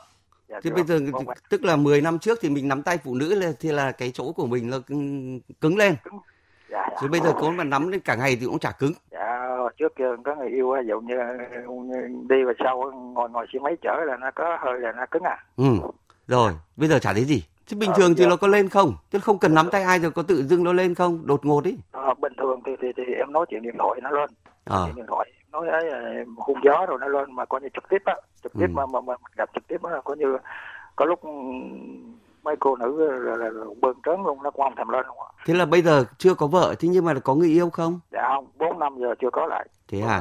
Thế là 4 năm rồi là không quan hệ với ai à? Dạ không quan hệ với ai. À thế à? Và cũng cảm thấy là bình thường đúng không? dạ Rồi, tóm lại là thế 4 năm nay thì có tự tự làm không? à, thủ dâm thủ dâm mà có À rồi. Vẫn hoạt động được đúng không? dạ hoạt động được cứng cứng, cứng lâu lắm mà được khi quan hệ Rồi. sau tự nhiên nó xuất tinh Tại- rồi mà tự nhiên nó nó còn cứng Hôm nay thì gọi đến ờ, cửa sổ tình yêu lần thứ nhất, 10 năm sau lại gọi đến cửa sổ tình yêu lần thứ hai. Lúc ấy mình 53 tuổi xong lại kể lại xem là thời điểm hiện tại thì nó ra làm sao nhá. mai mà em gọi nó không được mấy anh không có kết nối để em mà gọi nhiều lần rồi Bây giờ thì bác sĩ Hoàng Thúy Hải sẽ tâm sự với bạn. dạ cảm ơn anh Ừ, tôi chào bạn. dạ em chào anh chị. Ừ, tôi nghe câu chuyện của bạn với cả anh Văn từ nãy rồi. Ừ, thế sao mình chưa lấy vợ? Dạ tại em tìm đối tượng nó chưa hợp mấy cô kia sống với em toàn là tiền bạc rồi lo đồ xong xuôi cũng mấy cái hai tay rồi kia nọ em buồn quá số phận của Ừ. em nó là động em Ừ. tới ba bốn mối tình rồi chị ơi Ừ. Tại vì bây giờ bạn đã ngoài 40 rồi, đúng không? 43, 44 đến nơi rồi. Thế và ờ, như bây giờ thì người ta có thể gọi là cái đời sống tình dục của mình nó không được ổn định. dạ Mình không có một cái đối tượng để mình ờ, điều hòa cái cơ thể của mình theo sinh lý một cách tự nhiên mà mình đang ép tức là mình phải tự ừ, xử lý. Tức là bạn đang phải tự thủ dâm đúng không? Chứ bạn không có người để bạn có thể có cái hoạt động tình dục đều đặn và bình thường có gái nhưng mà phụ nữ có con rồi em không có thích em chỉ nói Ừ. chuyện qua điện thoại em không có thích Ừ. lấy mấy người phụ nữ có con Ừ.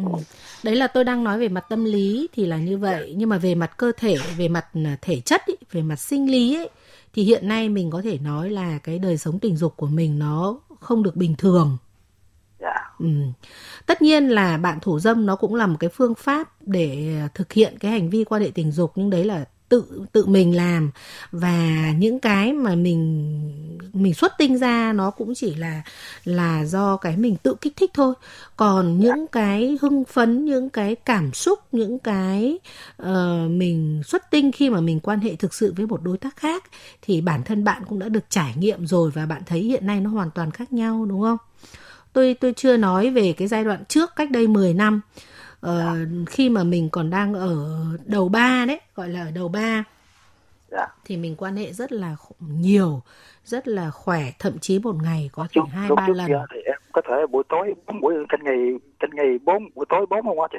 Đúng rồi. Ờ, mặc dù là về mặt ờ, sức khỏe là hành vi đấy không phải là hành vi có lợi cho sức khỏe. Mình đã chạy theo cảm xúc ờ, của mình quá nhiều một cách rất là bản năng và mình bắt cơ thể mình nó làm việc ừ, nó, mình gọi, có thể dùng từ là nếu trong thời gian dài có thể gọi là quá tải có thể bạn mới mua một cái xe uh, lúc đầu ngay lúc đầu thì nó vẫn rất còn khỏe máy móc nó vẫn còn đang rất là tốt và uh, khi mà mình đi với vận bất kỳ một cái tốc độ nào mình cảm thấy rất là êm rất là uh, đạt được cái mục đích như là mình mong muốn. Đấy. Nhưng nếu như mà mình cứ đi một thời gian dài như vậy mình không bảo trì không bảo dưỡng gì cả thì đương nhiên là cái xe đấy nó sẽ nhanh rất nhanh xuống cấp đúng không? Cơ thể con người cũng thế cơ thể con người nó là một cái cỗ máy rất là tinh vi nó đòi hỏi phải mình phải phải phải có cái bảo trì bảo dưỡng rồi mình phải yêu cơ thể của mình nhưng thôi câu chuyện đấy ừ. cô nó cũng quá cô yêu cầu liên tục Ừ. em. Thôi cũng may là mình cũng thôi cái cô đấy rồi đúng không? Và câu chuyện đấy nó cũng đã cách đây 10 năm rồi. Cho đến bây giờ có vẻ mình đang bị chịu một chút hậu quả. Tức là về mặt tâm lý thì có thể là bạn chưa ưng một cô nào hoặc là như bạn nói bạn cao số bạn có rất nhiều những cái cô mà tới với bạn nhưng mà vì những cái mục đích khác nhau chứ còn bạn chưa nhận thấy là ai đến với mình hoàn toàn vì tình yêu đúng không? Mà người ta có thể đến với mình vì nhiều những cái lý do khác. Trong đấy tình yêu chỉ là một phần rất nhỏ thôi. Thế và đối với cái cảm xúc tình dục của bạn bây giờ cũng là có vấn đề trước đây mình thấy rất là hăng, rất là lên, rất là nhanh, nhưng bây giờ mình cảm thấy là nó nó lên rất là chậm, đúng không? Và và cái cái đôi khi mình còn cảm thấy mình không có hứng nữa. Hay nói cách khác là mình, cái cảm xúc tình dục của mình nó bị chai lì đi. Mình phản ứng lại với những cái ham muốn nó chậm hơn, nó không còn nhanh như trước, đúng không? Dạ. thực ra bây giờ là bạn ở lứa tuổi ờ, bốn mấy rồi thì nó cũng phải khác với cả lứa tuổi ba mấy. Phản xạ ờ, chung đối với các cái uh, vấn đề trong cuộc sống nói chung cũng như là những cái vấn đề về sức khỏe là nó bắt đầu nó ở cái giai đoạn nó sẽ chậm dần để nó xuống thoái trào khi mà mình vào cái giai đoạn à, tiền mãn dục hoặc là mãn dục thế cho nên là điều đấy nó cũng là bình thường. Tuy nhiên thì bạn cũng không không nên chủ quan mà mình cũng cần phải đi kiểm tra sức khỏe xem là mình có bị mắc một cái bệnh mãn tính gì không. Ví dụ những cái người mà mắc những cái bệnh mãn tính về tiểu đường này tức là những cái bệnh về rối loạn chuyển hóa đấy. Em à, có đi khám ở bệnh viện Ừ. em học à, ở bên từ á. à. Người ta nói em bị à, rối lượng cơn cơn dương á chị. À thế là mình cũng bị rối loạn cương dương rồi đúng không nhưng mà bác sĩ nó nói "Ê, cho em cũng em cũng không biết nữa như bác sĩ nói thôi. em có phải điều trị gì không? À, em cũng có uống thuốc thời gian nhưng mà nói là uống thuốc đó là sau này là nó sẽ lâu xuất tinh nhưng mà em uống xong rồi em thủ dâm thử em thấy nó cũng nhanh lắm. Ừ. nhanh lắm thủ dâm cỡ ba phút là xuất tinh. Nhưng Ừ. mà trong khi nó xuất tinh nó lại còn cứng nó cứng nó khó Ừ. chịu lắm. Ừ. Nó chịu có có, có xào xuống đấy nông. đấy là biểu hiện của rối loạn cương dương đấy. Lúc mình cần cương thì nó không cương lúc mình xong chưa xong việc thì, thì nó không cương. Còn lúc mình xong việc rồi thì nó lại cương. Tức là rối loạn mà rối loạn lúc mà- cương dương. ờ, ừ cái lúc là, là như thế. thì em cũng cũng cũng cũng quan hệ nó ra cái cái cái xuất tinh nhưng mà thực sự nó cũng còn cứng nó muốn nữa nó muốn Ừ. nữa nhưng mà nó lại nó lại nó khó chịu lắm. Giống như là Ừ. nó vừa xuất ra một cái gì đó xong nó khó chịu nó muốn nữa mà tới cái cái cái, cái lúc cao cao trào á nó lại không không mạnh được nó Ừ. lại nhẹ nhẹ nhẹ nhẹ chứ mình mạnh nó không được chị Đúng vậy á. Ừ. nó không phải là kỳ mà là nó đang rối loạn chứ nó không bình thường khi Mà mà mình bạn- khi mà Dạ. bạn xuất tinh ý khi mà bạn xuất tinh ý thì lúc đấy là những cái nhát bóp của nó rất là mạnh nó tạo ra một cái lực để nó xuất được ờ, tinh dịch ra ngoài đúng không thế nhưng mà đến cái giai đoạn đấy thì mình đang bắt đầu là có những cái rối loạn cho nên là nó cái lực nó không đủ để nó xuất ra. Có thể bạn không xuất tinh được hết cho nên là bạn cảm thấy khó chịu. Cái em thắc mắc nha em nhất là chị tại vì em quan hệ cửa sau có thể 15 phút chưa ra luôn nói chung là cái hành vi quan hệ tình dục của mình nó cũng có nhiều nhiều những cái vấn đề mà có những cái vấn đề nó cũng không phù hợp với cả sức khỏe của mình. tốt nhất bây giờ theo tôi là thế này này. Thứ nhất là quay trở lại cái chỗ nam khoa nhé để điều trị theo đúng cái hướng dẫn của bác sĩ nam khoa cho nó uh, có thể cải thiện được cái tình trạng cương dương của mình cái đã. Trước tiên là mình phải là phải là như thế. Sau một loạt những cái hậu quả mà mình đã ờ, bắt cái cỗ máy uh, sinh dục của mình nó hoạt động rất là gắng sức và nó hoạt động có nhiều kiểu nó không phù hợp với nó thì bây giờ phải ổn định nó lại. Bởi vì cho gì cho dù là còn hay là không thì cái đời sống tình dục của bạn nó vẫn còn kéo rất dài ít nhất phải hai ba bốn chục năm nữa đấy. Thế cho nên là mình, bây giờ nó đã có vấn đề thì mình phải đi tìm vấn đề xem là nó ở đâu, vấn đề gì, cải thiện nó như thế nào. Đấy là cái đầu tiên. Đó là mình phải theo chỉ định của bác sĩ nam khoa, tái khám đúng quy định, uống thuốc đúng với cả quy định để cho nó cái hoạt động của cơ quan sinh dục của mình nó ổn định. Đúng không ạ? Cái thứ hai nữa là về cái vấn đề quan hệ tình dục ấy thì ở đây tôi muốn nói với bạn là như thế này. Cố gắng tìm lấy ờ, một cái ờ, quan hệ tình dục như thế nào đấy mà nó có thể phù hợp với bạn cả về tinh thần lẫn về thể chất. Cái này bạn sẽ tự hiểu và bạn sẽ có thể tự tìm được cái cái nào nó phù hợp nhất với mình, đúng không?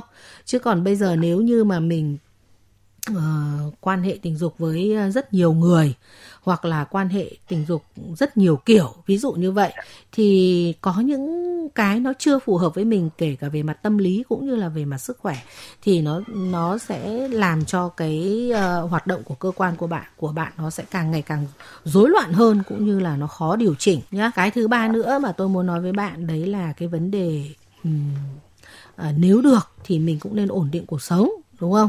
Vì bây giờ mình cũng đã bốn mấy rồi có một cái cuộc sống ổn định có gia đình có vợ chồng có con cái mọi thứ nó thuận theo tự nhiên. Thì uh, kết hợp với đó khi mà mình đã ổn định rồi mình sẽ có những cái biện pháp để mình chăm lo cho sức khỏe của mình. Mình sẽ um, giữ gìn cái sức khỏe của mình hơn cũng như là những cái hành vi uh, quan hệ tình dục của mình nó lành mạnh và nó bình thường thì tôi tin là sức khỏe của bạn sẽ được cải thiện. Uh, bên cạnh đấy thì cái kể cả sức khỏe tình dục nó cũng sẽ tốt hơn nhé rồi, bạn đã nghe rõ rồi chứ? Chúc bạn có một sức khỏe thật tốt nhé. Cảm ơn bác sĩ Hoàng Thúy Hải.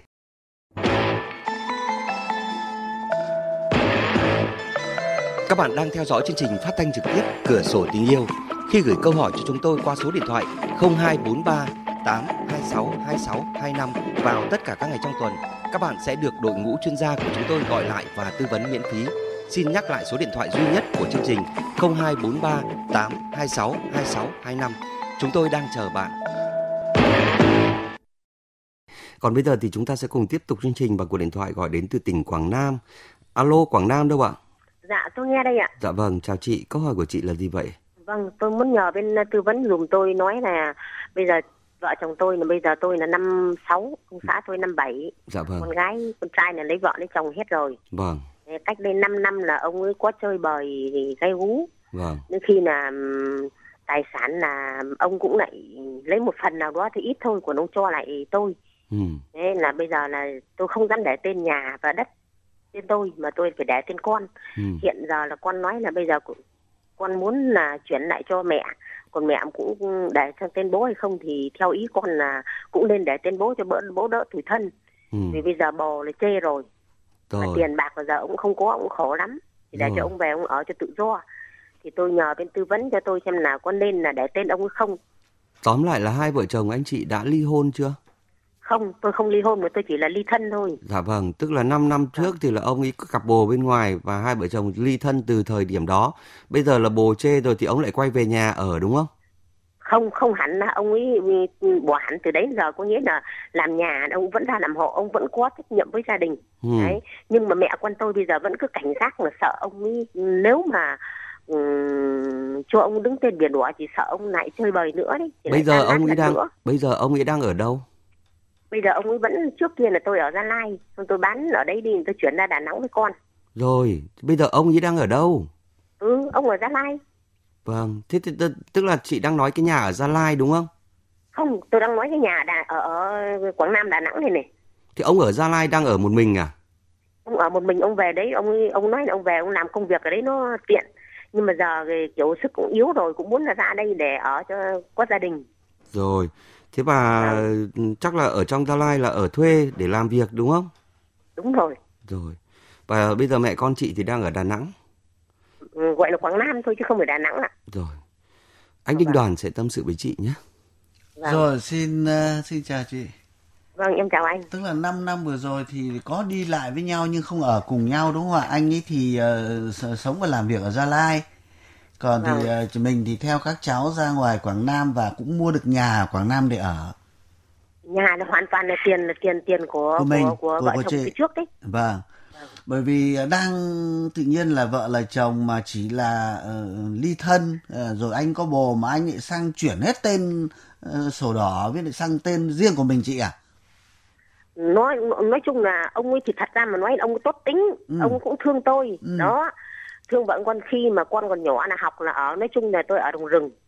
Rồi. Em rừng đến khi là con con cái trưởng thành học hết cấp 3 được rồi đi học đại học với các thứ là đi ra thành phố. Ừ. là vợ chồng là có ý chí hướng từ trước là bán đi để đi thành phố. Rồi. Xong bắt đầu là quán đi karaoke đấy là bắt đầu là bọn kia nó biết là bán đất đi thành phố nó thấy có tiền nó bu vào ông ấy dạy. Ừ. rồi. Vâng. Thế thì tóm lại thế này bây giờ anh ấy thì gần như trắng tay đúng không? Đúng rồi giờ trắng tay không ừ. còn gì nữa và anh ấy năm bảy anh ấy làm cơ quan việc nhà nước đúng không. không? Không hai vợ chồng làm nông vậy nó mới thương ông ấy tôi à, mới thương ông ấy vâng, đấy. vâng vâng vâng. Thật ra thì mình mình là người gốc bắc mình di cư vào đấy mình à, làm ăn rồi, rồi gặp rồi, nhau đúng thôi đúng không? Bắc. Ừ. người gốc bắc hai vợ chồng cùng người bắc rồi. Xong đi kinh tế đi đi đi kinh tế năm tám năm tám ba gì đấy. Rồi. Này nói thật à. là bây giờ thì uh, anh ở trong đấy anh thuê nhà xong anh đi đi đi làm thuê à? Hay là anh cũng có nương có dãy có cà phê không, cà phê hay gì? Không không. Có nghĩa là tôi ở khu gọi là Carong Ba nó đất nó khô cằn nó ông chủ yếu sống về nghề rừng mấy ông về ông đi hàn cho người ta là thuê làm thuê làm mướn về cái người à. bạn người ta có cái kho người ta cho ở nhờ thì trời ơi thế hả thế nói chung ông giờ là ông khổ ông không có chả sướng. còn bồ bịch gì nữa đúng không ừ.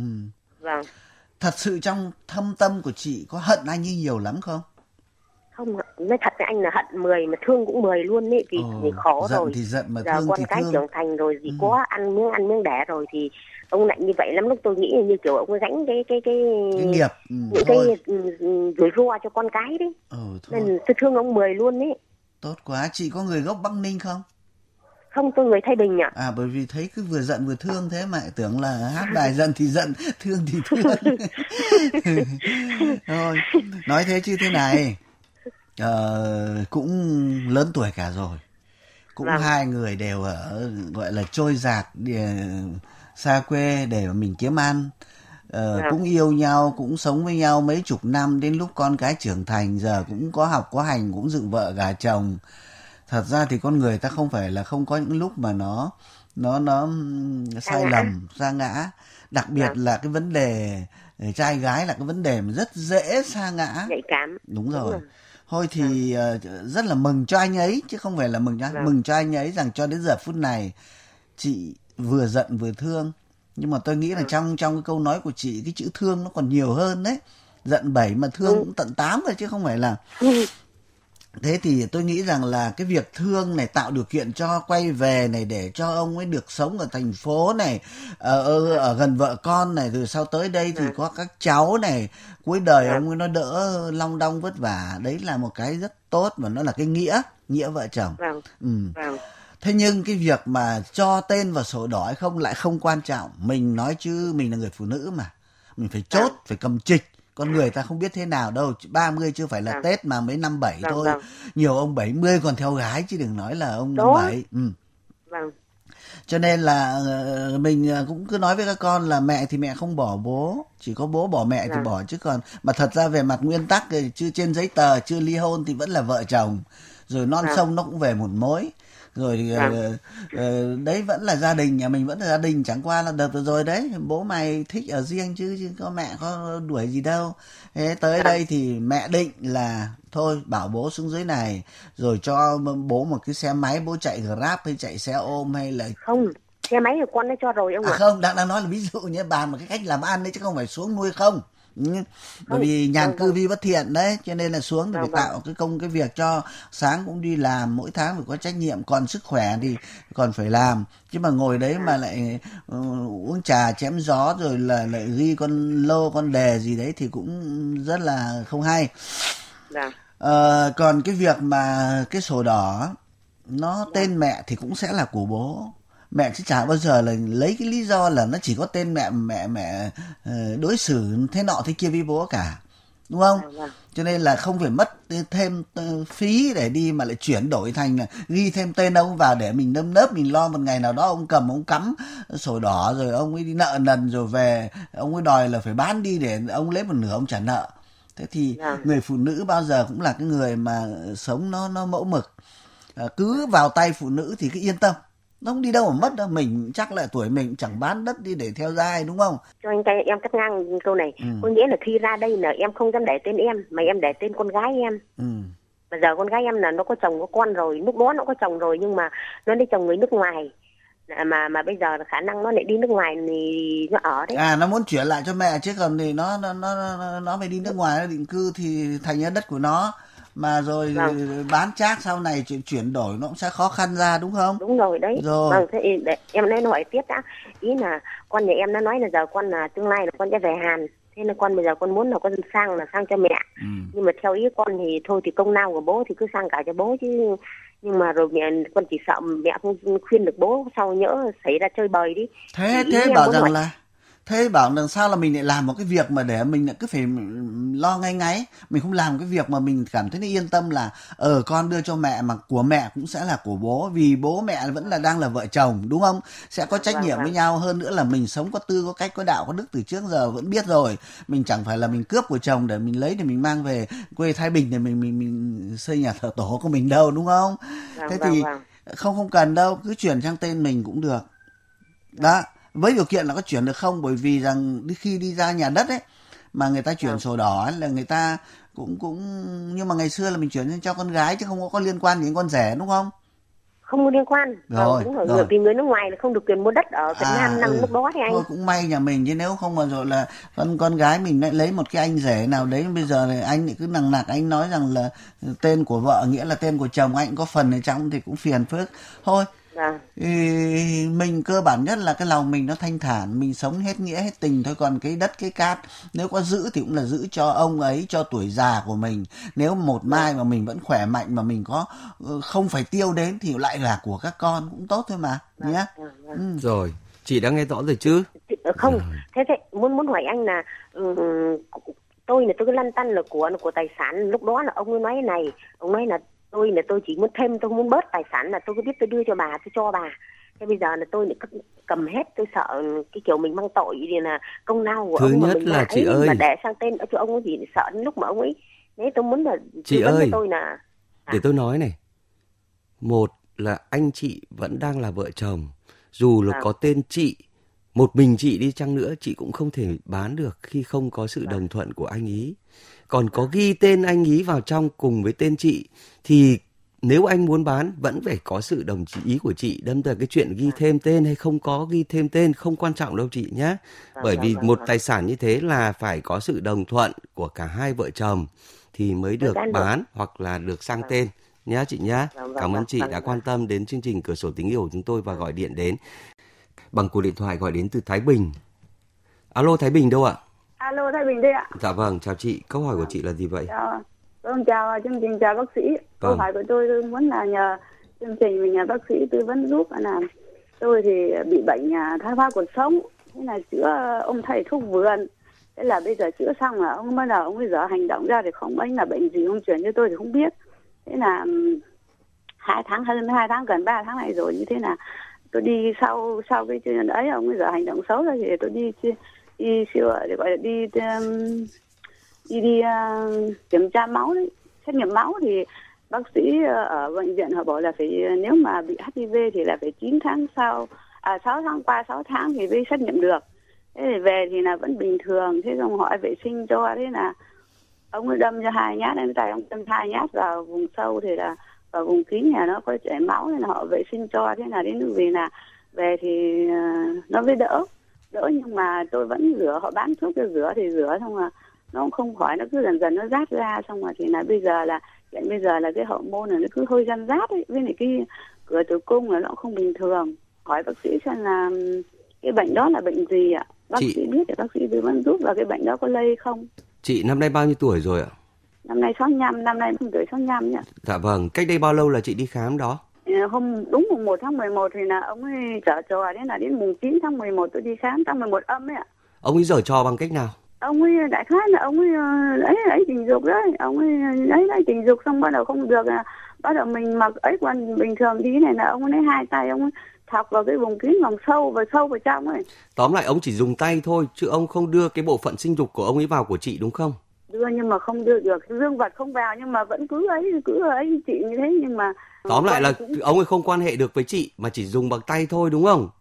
Có cũng là quan hệ nhưng mà cái kiểu nó không vào trong nó vào không vào âm đạo của mình. Đại khái anh chị ở bên ngoài ấy thế là nó đổ bệnh cho thế là bây giờ là không quan hệ được thành công thì làm sao mà đổ bệnh được cho chị? Không nhưng mà nó không vào được nó không vào được thì ông bảo tôi là kéo nó vào tôi không kéo tôi nói tôi phản hồn tôi hết hồn nhưng tôi không kéo thế là tôi chẳng cái gì gì thế là tại sao đang thoái hóa cuộc sống ấy thì ra mà bắt tụt quần ra mà để quan hệ thì cũng đồng ý. Đã bảo là chữa xong rồi xong nó bắt làm ra tôi không làm chữa bắt làm ra tôi không làm xong bắt đầu nó nó cố tình nó cưỡng ép bà ấy bà 65 tuổi bà non nớt như thế thì tôi đã thấy bác sĩ là tôi bị diễm thị tôi bị diễm thị xong rồi thì là nuôi mẹ già 89 tuổi. Thế là nhà không có ai nhà. Chị có chồng con gì không? Không. À tức là từ trước trước này chưa lấy chồng bao giờ à? Không không có chồng con phải nuôi mẹ già.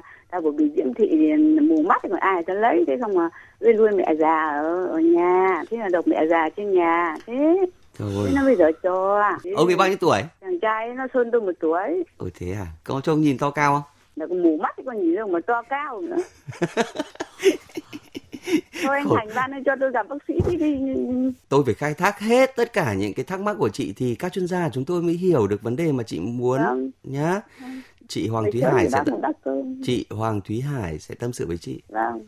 Chị ơi, trước tiên dạ. tôi muốn hỏi chị là nếu câu chuyện này được phát ở trên sóng thì thì có được không chị? Không thì đại gái bác sĩ rồi. Tôi thì nói thật với bác sĩ này này, nói thật với bác sĩ là bây giờ thì bệnh tật ở trong người đó cái kể là nó không bình thường. Cái cái âm đạo đấy ở à, cái cái cái cửa tử cung đấy nó cứ thế nào thế là đi khám thì thử máu thì ờ, thử họ bảo chưa nếu HIV thì thử máu thì là không được um, thì qua 6 tháng thì để thử hỏi qua chương trình là thế là thì là tôi thì là ờ, như bác sĩ bảo là chùi màu gà hay là hoặc là cái gì mạ giang mai gì thì lậu gì đấy thì là bác sĩ ờ, biết thì bác sĩ tư vấn giúp để để tôi đi tôi khám ạ tôi phải hỏi lại chị một lần nữa là nếu câu chuyện này được phát ở trên sóng ấy, tất cả mọi người đều nghe thấy thì chị có bị ảnh hưởng gì không? Bác sĩ giúp tôi nói chuyện đây cho tôi tí để cho tôi ấy. Vâng.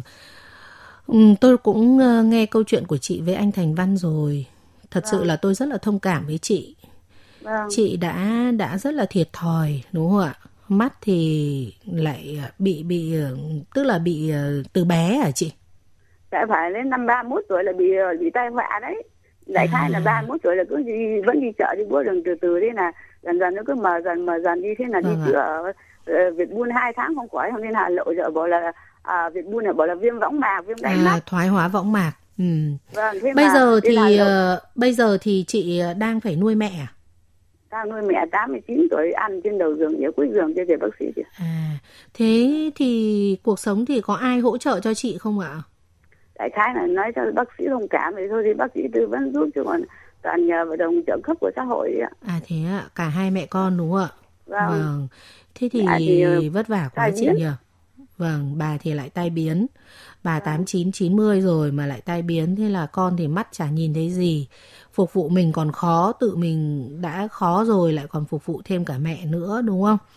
Vâng. và hoàn toàn không có một cái nguồn thu nhập nào để mà có thể nuôi sống được. Thì sống bằng cái trợ cấp của xã hội thì nó cũng rất là ít chị nhỉ thành ra cuộc sống cũng rất là vất vả. Vâng. Vâng. Ờ, thôi vấn đề chính của chị bây giờ đang rất là lo về sức khỏe đúng không ạ? Vâng. Thực ra thì anh Văn anh ấy ban nãy anh ấy cũng có nói thế thôi nhưng mà tôi nghĩ rằng chị hoàn toàn rất là yếu thế trước uh, nhiều người khác trong đấy có cả bác sĩ nhất là khi bác sĩ là ừ, cái người khám cho mình xong rồi là mình lại lại mắt mình lại không nhìn rõ như thế cho nên là người ta rất chị rất dễ bị lạm dụng. Điều đấy hoàn toàn có thể xảy ra mà.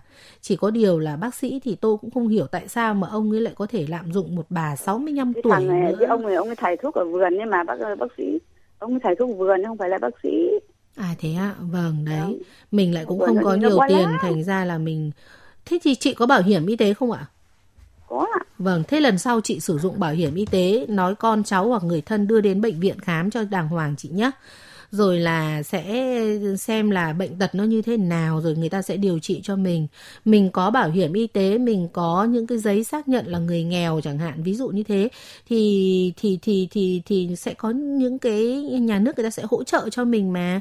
Mình đừng ừ. có ngại hay là mình đừng có ờ, lo lắng vấn đề gì quá. Đâm ra là thành ra là những cái vấn đề liên quan tới sức khỏe của chị hiện nay là đang rất là là là khó thôi bây giờ thế này về cái câu chuyện mà lo về HIV tức là chắc là chị cũng chị làm sao mà chị lên mạng được? Chị nhờ con cháu à? Cháu à? Không có cái đứa cháu dâu nó làm bác à, nó làm à, dược học dược thì nó bảo à, là bác ừ. không phải là là HIV HIV ừ. là lết người có đúng không bác không không phải không phải. HIV giai đoạn đầu hoàn toàn không có một cái triệu chứng gì. Vâng. Nếu mới nhiễm nó chỉ có những triệu chứng như là người ta nhiễm cúm, nhiễm một loại virus bình thường cho nên không thể biết được và chứ đợi đến khi mà đã lở loét ý, thì nó là giai đoạn cuối rồi chị ạ. Thì lúc đấy thì không còn còn còn ờ, còn cái gì là khó nữa. Vậy thì cái HIV muốn chẩn đoán ý, thì chỉ có dựa vào xét nghiệm. Và bác sĩ nói của chị cũng tương đối là nói cho chị cũng tương đối là đúng. Tức là HIV khi mà mới vào cơ thể thì nó phải có một thời gian để nó chờ sinh ra kháng thể. Người ta mới có thể xét nghiệm để có thể phát hiện được uh, ờ, HIV hay không. Vì cái giai vâng. đoạn đấy người ta gọi là cái giai đoạn cửa sổ nó là vì như thế. Và khi xét nghiệm ở giai đoạn này có thể kết quả nó chưa chính xác. Ví dụ âm nếu là dương tính thì nó là là là mình là bị nhiễm. Nhưng nếu là âm tính thì có thể nó là âm tính giả hay nói cách khác là kết quả nó chưa chính xác và chính xác nhất nó phải là sau 3 tháng hoặc là sau đến 6 tháng. Tất nhiên là bây giờ có rất nhiều phương pháp xét nghiệm mới chị ạ, phương pháp xét nghiệm hiện đại, người ta có thể phát phát hiện sớm được HIV uh, ờ, nhiễm HIV trong khoảng một tuần nhưng tất nhiên ở những cái điều ở những cái nơi những cái cơ sở người ta có những cái máy móc nó hiện đại mới có thể phát hiện sớm được HIV như vậy nhé. Vâng. Vâng quay trở lại câu chuyện của mình thì tôi nghĩ là bởi vì ban nãy anh Văn anh hỏi nó chị nghe hơi khó một chút nhưng mà đúng là anh ấy tìm kiếm xem là cái nguy cơ mà bị lây nhiễm HIV ở chị nó có cao không. Thì tôi nghe câu chuyện của chị thì tôi đánh giá là là cái khả năng mà mình bị ờ, lây từ cái anh lang vườn này có nó cũng không phải là cao lắm như là những cái hành vi khác. Hay nói cách khác là uh, cái uh, mình không tiếp xúc trực tiếp với cả dịch sinh dục của mình với của với cái anh lang vườn thì cái khả năng của nó không phải là cao nhá. Còn những cái hành vi như là tay dùng tay hoặc là chỉ ở ngoài quần thôi thì uh, kể không, cả nó, anh ấy có xuất tinh. nó hay nó từ quần ra đấy nhưng mà tinh nó không xuất được vào trong mình đâu. Thế nhưng nó không cao thế nhưng mà mà cái nó ừ, bác sĩ này nó thọc hai nhát tay vào trong sâu thì bây giờ bây giờ cái vấn đề của chị có thể là cái hành vi đấy nó gây viêm nhiễm cơ quan sinh dục của chị.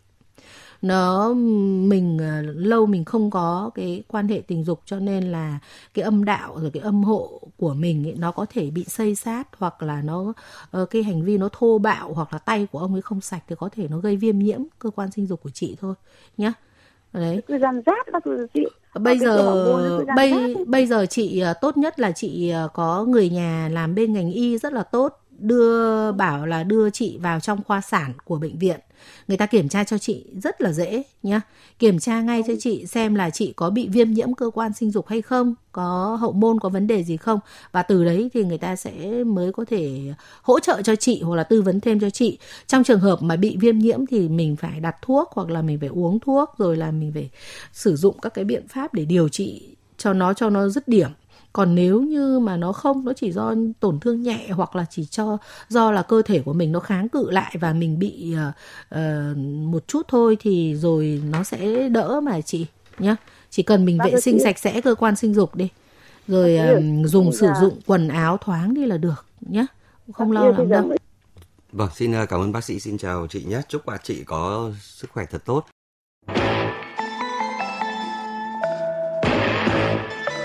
Các bạn đang theo dõi chương trình phát thanh trực tiếp Cửa sổ tình yêu. Khi gửi câu hỏi cho chúng tôi qua số điện thoại 0243 826 2625 vào tất cả các ngày trong tuần, các bạn sẽ được đội ngũ chuyên gia của chúng tôi gọi lại và tư vấn miễn phí. Xin nhắc lại số điện thoại duy nhất của chương trình 0243 826 2625. Chúng tôi đang chờ bạn. Còn bây giờ thì chúng ta sẽ cùng tiếp tục chương trình bằng cuộc điện thoại khác. Cuộc điện thoại gọi đến từ tỉnh Bình Dương. Alo Bình Dương đâu ạ? Dạ em có chuyện ờ, về uh, tình cảm á em thì cũng không được may mắn như các bạn bè đó anh ừ. em cũng bị đổ vỡ hai lần rồi ừ. mà giờ em cũng mến một cái anh kia hơn em 20 tuổi mà anh đó cũng mến em nữa mà ừ. giờ cũng tụi em cũng đang tìm hiểu á ừ. mà em cũng sợ ấy à lỡ mà bị uh, ý là tình cảm sợ bị tổn thương lần nữa là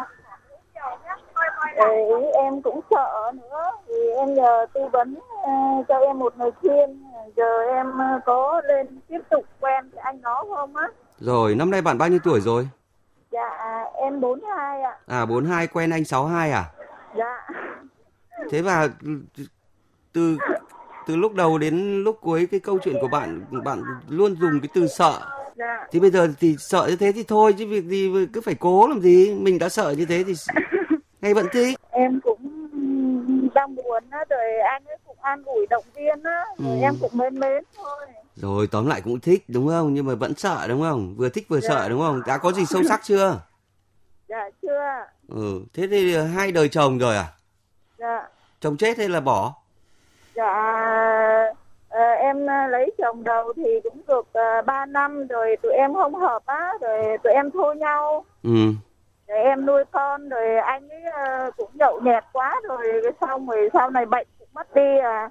Rồi xong em cũng quen với anh này cũng được mấy năm sáu bảy năm gì nhưng mà chưa có con. Ừ. rồi anh ấy cũng nhậu nhẹt để không lo làm á. Nói chung là em cũng khổ lắm em chỉ muốn là có một gia đình nữa rồi thế tóm dạ. lại là chồng với chỉ có chồng thứ nhất là có con thôi đúng không?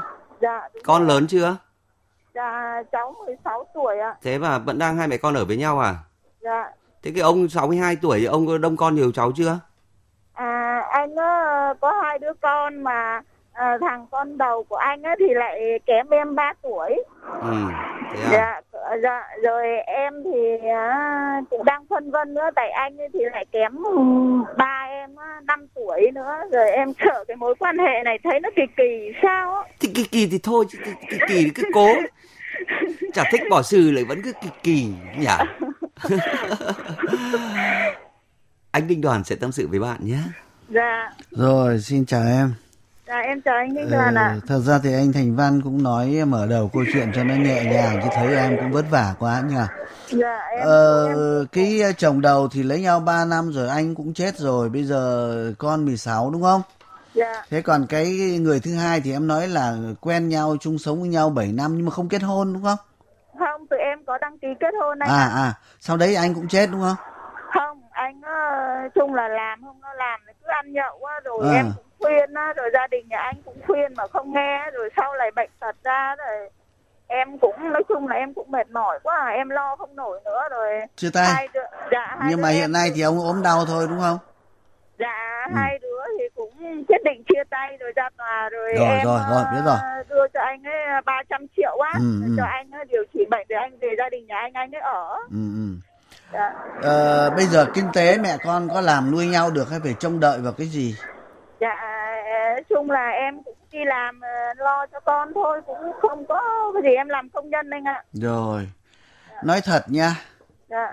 mình trông đợi gì ở cái ông 62 ấy? To hay khỏe hay là ờ, tâm lý tình cảm hay vỗ về an ủi hay mỗi tháng ông hỗ trợ 5 triệu à. nuôi con hay cái gì? Nói chung là em không có trông đợi thì em là thấy anh cứ động viên rồi an ủi rồi em cũng mấy thôi chứ em cũng không phải như người ta mà mình ừ. quen người ta mà mình lợi dụng tiền bạc có anh ông chả có đâu mà lợi dụng. Nói thật thế này này đây là anh anh anh vừa là một chuyên gia tư vấn nhưng đồng thời cũng là một ông anh trai rất muốn dạ. chia sẻ với em. Không có tiền thì chết chứ còn không có cái thứ khác chưa chết ngay. Mình dạ. cũng thăng trầm hai cuộc hôn nhân rồi. Bây giờ con nó đang ở tuổi 16 nó đang rất là là trông tranh bấp bênh tới đây là vất vả lắm đấy con nó học cấp 2, cấp 3 rồi nó sẽ uh, con trai đúng không? Dạ uh, con gái À ừ nó uốn nắn nó rồi hướng cho nó đi học tiếp hay đi làm rồi còn mệt mỏi lắm bây giờ vướng vào cái ông 62 làm cái gì vơ va yeah. Dạ. vẩn ba bữa ông lại ốm ra rồi mình lại với tư cách là người vợ trẻ lại tỏ tí te với ông ấy vậy là thì hoặc là là hầu một ông già có khổ không tất nhiên cái chênh lệch 20 tuổi nó cũng là một vấn đề nhưng không phải là vấn đề quyết định nha dạ, ví dụ một dạ. cô gái 20 mà có thể kết hôn với anh 40 có thể vẫn hòa hợp nhưng mà đây một ông 62 về hưu rồi về mặt xã hội người ta cũng thấy rằng là một người cao tuổi cần phải yên nghỉ chứ không phải là đi, chinh phục ừ, kiếm thêm vợ nhá và yeah. Dạ. tự nhiên tất nhiên ông mà kết hôn được mình có thể ông ấy được nhờ mình cũng còn trẻ thỉnh thoảng gọ gắng tuần làm được một hai lần nó cũng vui tuổi già. Hai nữa là mình tự nhiên lại lại làm vợ ông ấy phải cơm nước hầu hạ ốm đau cho nên là về con cái của ông cũng sẽ ủng hộ đấy. À, bố dạ. nó giữ bố già làm gì? Có cái người mà lại trẻ mà hứng cho thì cũng tốt kể cả cái đứa mà chỉ kém mình có có vài tuổi nó cũng sẵn sàng. Nếu cô thích thì cô cứ hốt bố con đi hốt bố cháu đi. Nhưng mà anh nghĩ rằng thôi làm mà ăn còn thì dạ. nếu như trong quá trình mình làm ở công ty hay làm ở xí nghiệp hay nhà máy gặp những người nào đàn ông người ta có thể chia sẻ với mình được điều này điều khác cởi mở tấm lòng nhưng miễn là đừng có vi phạm pháp luật đừng có dính vào những anh mà đang có vợ rồi rồi rồi nó ghen nó tuông nó đến nó nó đánh ghen hoặc là nó hành hạ nó, nó nọ kia mình thì bạo lực mình thì rất là khổ Dạ. Nếu như mình chỉ cần cái nhu cầu mà chia sẻ tâm tình và uh, những cái thứ thỉnh thoảng có chút nó nó bớt cô đơn ấy thì không thiếu dạ. gì chỗ chứ đừng phải vất vả với cái ông 62 này nhá. Thế dạ. còn thì nếu mình muốn ấy cứ đi lại với ông 62 nhưng không nhất thiết là phải cưới hay đăng ký kết hôn hay về làm vợ ông ấy. Rồi em rất là quý bác uh, uh, thỉnh thoảng thì bác cứ đến đây nếu nhà mình có cơm cho ông ăn cơm cũng đừng có làm cái gì linh đình quá mình đừng đặt vị trí mình là vợ phải có trách nhiệm thế nọ trách nhiệm thế kia. Vì không là vợ chỉ là cái chỗ mà uh, chia sẻ cho nên là nếu như mình có một người bạn trai khác ông ấy cũng không ghen tuông gì cả mình có quyền. Chứ nếu không là ông cứ ngồi đấy làm không làm nó ngồi ăn vạ mình về muộn sao bây giờ giờ này mới về với lại uh, cô chat chít với ai điện thoại vừa điện thoại với ai ấy tự nhiên mình mua dây chói mình nó khổ ra đúng không? Dạ. chưa kể là con gái mình 16 tuổi lại ở với một cái ông 62 ấy mà rồi rồi thì mẹ thì ngoài 40 rồi con thì đang mơn mởn là tuổi 16 ấy không ít trường hợp tất nhiên mình không phải vơ đũa cả nắm đàn ông thì trăm người may với có một người xấu còn tốt là chính thôi thế nhưng mà yeah. Dạ. chẳng may nó rơi vào cái người nó, nó rồi, rồi rồi hỏng cả mẹ lẫn con đấy nhá yeah. Dạ. ừ. Yeah dạ tập trung vào làm và ăn có tiền, thích ăn đâu đi chơi đâu, làm gì. Rồi hai nữa, con gái nó cũng đang tuổi mới lớn, rất cần có người mẹ như là một người chị. Rảnh rỗi thứ bảy, chủ nhật, mẹ con dắt nhau đi siêu thị mua cái váy, cái vóc để mẹ mặc, con mặc vui vẻ với nhau. Rồi nhớ lưu ý là giữ cái tiền để sau này mình có tí lưng vốn, mình con nó mà lớn lên rồi nó đi học ở đại học ở Sài Gòn ngộ nhỡ nó yêu anh nào nó lấy ở trong ấy là mình một mình đấy thế vì vậy yeah. thì dạ. mình phải có tiền nhá tự yeah. Dạ. nhiên mình phải đi đi đi thêm một cái, cái, cái cuộc hôn nhân nữa làm cái gì mình cũng đã từng trải qua hai rồi nhá yeah. Dạ. ừ. yeah. thế còn rồi. nếu chẳng may à nếu may mắn sau này mà uh, gặp được một ai đó người ta chênh lệch hơn mình một uh, in ít thôi này người ta cũng có vợ chết hoặc là ly hôn này và thật sự người ta rất chân thành và người ta cũng có độc lập về kinh tế người ta không trông cậy gì mình hai người như góp gạo thổi cơm chung lúc ấy thì hãy hãy tiến hành nhé dạ, rồi. Dạ, rồi rồi bình tĩnh và suy xét lại nhá dạ dạ rồi cảm ơn bạn đã gọi dạ, đến cảm... chương trình cửa sổ tình yêu của chúng tôi xin à, cảm ơn anh Đinh Đoàn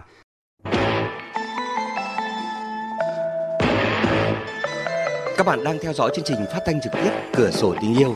Khi gửi câu hỏi cho chúng tôi qua số điện thoại 0243 826 26 25 vào tất cả các ngày trong tuần, các bạn sẽ được đội ngũ chuyên gia của chúng tôi gọi lại và tư vấn miễn phí Xin nhắc lại số điện thoại duy nhất của chương trình 0243 826 26 25. Chúng tôi đang chờ bạn. Còn bây giờ thì chúng ta sẽ cùng tiếp tục chương trình bằng cuộc điện thoại gọi đến từ tỉnh Lạng Sơn. Lạng Sơn đâu ạ? Dạ Lạng Sơn đây ạ. Rồi, câu hỏi của bạn là gì? Dạ, câu hỏi của chị là muốn hỏi bác sĩ ạ. Rồi, chị bao nhiêu tuổi đấy? À, chị hỏi cho con chị thôi, con gái chị. Vâng, chị bao nhiêu tuổi? Tôi đang hỏi chị mà. À, chị 51 tuổi. Vâng. Thế con gái chị là năm nay là 26 tuổi mắc bệnh viêm gan B xong rồi chị muốn hỏi là con gái chị có nên sinh con nữa không con gái chị lấy chồng chưa à, lấy chồng có một thằng con 6 tuổi từ lúc đẻ con ra thì nó bị viêm gan B bây giờ nó không chịu uống thuốc bác sĩ Hoàng Thúy Hải sẽ ờ, tâm sự với chị nhé ờ tôi chào bạn à, chào bác sĩ ừ. ừ, tại vì nghe giọng bạn rất là trẻ ừ. ừ, con gái đâu mà không gọi cho chúng tôi mà lại phải để mẹ gọi vậy con gái nó không chịu nói chuyện đi À nó không chịu nói chuyện à? Nó lo sợ điều gì? Nó không chịu nói chuyện nhưng là nó không chịu uống thuốc. Em khuyên nó nhưng mà nó không nghe. À, hiện nay thì con đang theo dõi ở đâu vậy? Con em ở nhà nhưng mà lâu lâu nó lại sốt. Ờ. Nó bị viêm gan B được 6 năm rồi nhưng mà nó không chịu uống thuốc. Em ừ. hỏi bác sĩ rồi xem ừ. nó có nên sinh con không. Bạn đang ở tỉnh nào ấy nhỉ? Tỉnh Lạng Sơn. À thế hả? Ừ mình lo cho con rất là đúng đúng không ừ. vâng. và rất là lo bạn có nhiều con không dạ em mới có một đứa con gái thôi. À có mỗi mình bạn gái đấy thôi đúng không? Vâng. ừ, tất cả niềm tin yêu hy vọng là đặt vào cái cô này. Thế mà bây giờ thì mẹ thì còn khỏe và cô thì lại viêm gan đúng không? Và không hiểu tại sao nó lại từ chối điều trị nhỉ? Bây giờ thế này nhé. Ừ, cuộc sống là của nó cơ thể là của nó mình không thể sống thay nó được đúng không? Mình chỉ có đi tham khảo ý kiến rồi để mình nói lại với con. Và cái người quyết định như thế nào là con chứ không phải là mình đúng không? Nó bản thân nó nó phải yêu bản thân nó nó yêu chồng nó nó yêu con nó nó yêu gia đình của nó rồi nó mới đến yêu mình.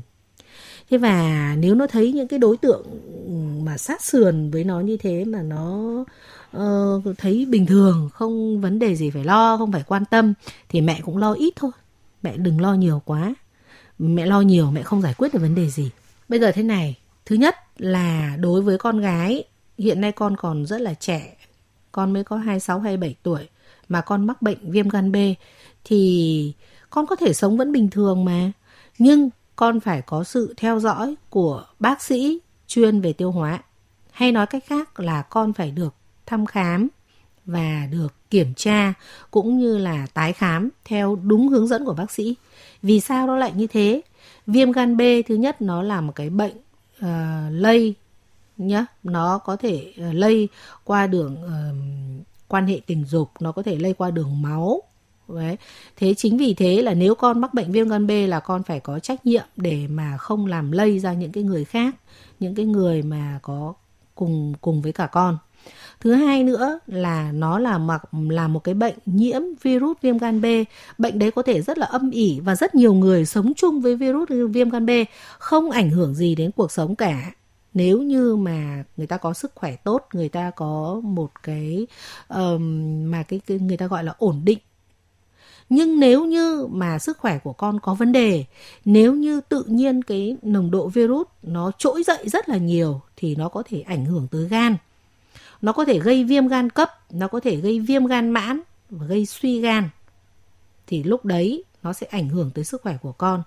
Vậy thì những cái người mà bị viêm gan B ấy, là người ta phải được bác sĩ theo dõi theo đúng định kỳ được xét nghiệm thậm chí người ta kiểm tra xem cái nồng độ virus đấy nó là bao nhiêu, nó có thể có ảnh hưởng gì đến sức khỏe hay không, có cần phải dùng thuốc không để người ta sẽ tiên lượng cũng như là người ta hỗ trợ được cho con. Đấy, chứ không phải là anh buông quăng bỏ vãi, anh cứ kệ nó, anh cứ im ỉm im ỉm đi, thì đến một ngày nào đấy gan của anh nó sẽ bị ảnh hưởng. Và lúc đó thì nếu mà đã suy gan rồi thì rất là khó có thể xử lý được đấy là vấn đề mà chị cần phải nói với con để cho con nó phải tự chủ động thăm khám cũng như là kiểm tra sức khỏe của nó. Còn việc con có nên có thai hay không thì rất nhiều người phụ nữ, người ta có thai rồi người ta mới được phát hiện ra là bị viêm gan B. Qua đi thăm khám định kỳ qua xét máu thì xét nghiệm máu thì người ta mới biết được là người ta bị viêm gan B. Hay nói cách khác là nếu như người ta ờ, bị viêm gan B mà nó không ảnh hưởng gì đến sức khỏe không à, chức năng gan không có vấn đề gì không có những cái uh, biểu hiện của bệnh viêm gan thì người ta vẫn có thể có con bình thường. Vâng. Và chỉ có điều là khi những người phụ nữ mà bị uh, mà bị nhiễm ờ, virus viêm gan hay nói, mình nói thông thường mình gọi là viêm gan B mà có thai thì cần phải được theo dõi cũng như là hỗ trợ của bác sĩ sản khoa hơn những cái sản phụ mà không mắc viêm gan B. Thế rồi kể cả khi trong quá trình mang thai thì họ phải được tầm soát như thế nào, họ phải được kiểm tra ra làm sao, họ được sử dụng những cái thuốc để hỗ trợ cho sức khỏe của họ. Khi mà con sinh ra thì phải sinh được ở những cái nơi mà người ta có thể uh, có cái tiêm cái huyết thanh kháng viêm gan B ngay cho con ngay từ đầu thì những đứa trẻ sinh ra sẽ được tiêm huyết thanh phá kháng viêm gan B. Sau đó thì sẽ được tiêm vaccine phòng viêm viêm gan B trong chương trình tiêm chủng mở rộng. Mà theo đúng cái lịch tiêm chủng mở rộng thì sức khỏe của con cũng rất là tốt. Đấy. Người bình thường không mắc viêm gan B thì khi có thai cũng là một cái gánh nặng đối với người phụ nữ rất là lớn rồi. Bởi vì người ta phải sống ờ, và cái cơ thể nó phải ờ, cho hai cơ thể để phát triển. Vì vậy những cái người phụ nữ viêm gan B thì đòi hỏi phải được theo dõi sát hơn, cũng như là phải được ờ, hỗ trợ nhiều hơn nha thì ờ, chị ờ, vâng. À, về mặt hỏi là có nên hay không à, tức là có có hại gì hay không thì tôi thấy là à, là nó là nó cũng nếu như mà gan tốt không có vấn đề gì không ảnh hưởng gì thì cũng không có vấn đề gì. Còn trong trường hợp như là nó có những đã có những cái ảnh hưởng tới sức khỏe rồi thì việc có con hay không thì nên cân nhắc bởi vì nó một là khả năng lây qua con hai nữa nữa là nó cũng ảnh hưởng sức khỏe nhiều nhé vâng thế chị nhé rồi chị đã nghe rõ rồi chứ? Dạ em nghe rõ dạ cảm vâng. ơn bác sĩ dạ vâng cảm ơn chị Hải chào chị nhé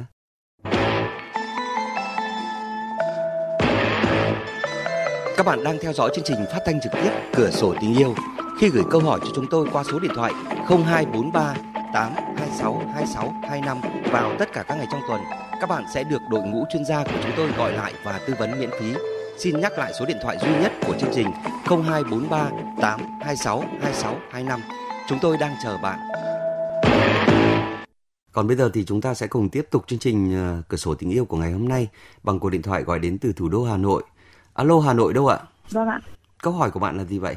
Ờ, em muốn hỏi là à, chồng em thì trước đây có đi công tác xa ấy ạ. Ừ. Thì em có phát hiện là chồng em đã ngoại tình ấy. Ừ. Thì em cũng làm ầm lên rồi. Ừ. Đấy thì uh, sau một tháng thì anh ấy cũng về. Ừ. Nhưng mà tình cảm vợ chồng thì nó cũng uh, nó cũng không như lúc đầu lại em uh, nhất là trong cái thời gian mà chồng em về đấy thì là em uh, kiểu cái tâm trạng của em nó cũng rất là hỗn loạn xong rồi uh, kiểu mình ở nhà mình cũng uh, uh, chút giận lên con ấy Ừ. Nghĩa lúc nào cả ngày em chỉ nghĩ đến những cái chuyện đấy xong rồi em nghỉ làm luôn mà Ừ. xong rồi chỉ có ừ, điều tra rồi điều tra là xem là như thế nào đấy xong rồi suốt ngày xem zalo xem là chồng truy cập bao nhiêu phút Ừ. truy cập làm gì Ừ. đấy sau đó là đến chiều thì đi đón họ con về tối dạy con học thì kiểu nhiều lúc mình cũng trong người mình nó đã có những cái ờ, mệt mỏi xong rồi mất bình tĩnh thì nhiều khi mình không giữ được bình tĩnh với con ấy ạ Ừ. đấy thì em không biết là bây giờ em nên làm gì trong cái cuộc sống gia đình của em nữa Thế bây giờ hai vợ chồng bình Rất- thường chưa?